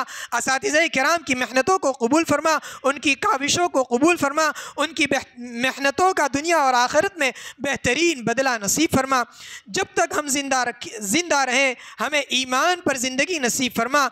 जब वक्त आखिर हो कलमे वाली मौत हम सबको नसीब फरमा, इस हाल में हम दुनिया से जा रहे हो, तू हमसे राज़ी हो, हम तुझसे राज़ी हो, तेरे किसी बंदे और बंदी का कोई वाजिबुल अदा हक हमारे सर पर बाकी ना हो, ज़ुबान पर कलम तय्यबा जारी हो, ऐसी पाकिज़ा मौत तो हम सबको नसीब फरमा। परवरदिगार, मौत और मौत के बाद की सारी मंजिलें हम सब के लिए आसान फरमा। हमारी कब्रों को जन्नत के बागों में से एक बाग बना। मैदान महशर की हौलनाकी और सख्तियों से बचा ले। आमाल नामे दान हाथ में नसीब फरमा कर रसूलुल्लाह सल्लल्लाहु अलैहि वसल्लम के हौद कौसर से जाम कौसर नसीब फरमा करके जन्नतुलफिरदौस में हम सबको दाखिला नसीब फरमा। हमारी क़यामत तक आने वाली नस्लों की ईमान की आमाल की पूरे पूरी हिफाजत फरमा। हमारी आने वाली नस्लों को ईमान पर कायम और दायम फरमा। परवरदिगार, हमारी आने वाली नस्लों को इर्तदाद की फ़िज़ा और हवा से बचा ले। इर्तदाद की कोशिशों को नाकाम फरमा। नेस्त व नाबूद फरमा। उनकी साजिशों को उन्हीं पर पलटे। परवरदिगार, इसी इर्तदाद को ख़त्म करने के लिए, इसी ग़ुलामी को ख़त्म करने के लिए हमारे मशाइ ने, अकाबिर ने जितनी क़ुरबानियाँ दी है तो उन तमाम मशाइ की क़ुरबानियों को कबूल फरमा, उनकी शहादतों को कबूल फरमा, उनकी करवट करवट मगफरत फरमा, उनके दर्जात को बुलंद फरमा। हमारे जितने इस अकाबिर मशाइ दुनिया से रुखसत हो चुके तो उन तमाम की भरपूर मगफरत फरमा। जो और मशाइ ज़िंदा है, परवरदिगार हमें उनकी कदरदानी की तोफ़ी नसीब फरमा। उनकी नाकदरी से उनकी नाशुक्री से, उनकी शान में बुरे कलिमात कहने से हम सब की पूरे पूरी हिफाजत फरमा तेरे हबीब जनाब रसूलुल्लाह सल्लल्लाहु अलैहि वसल्लम ने खैर की लाइन से जितनी दुआएँ मांगी है, उन तमाम में हमारा हिस्सा नसीब फरमा जिन जिन शुरूर व फितन से, आफात व बलियात से, आजमाइशों से हवादिसात से, मसाइब से पना तलब की परवरदिगार, हम सब उससे पला तलब करते हैं। हम सब की पूरे पूरी हिफाजत फरमा।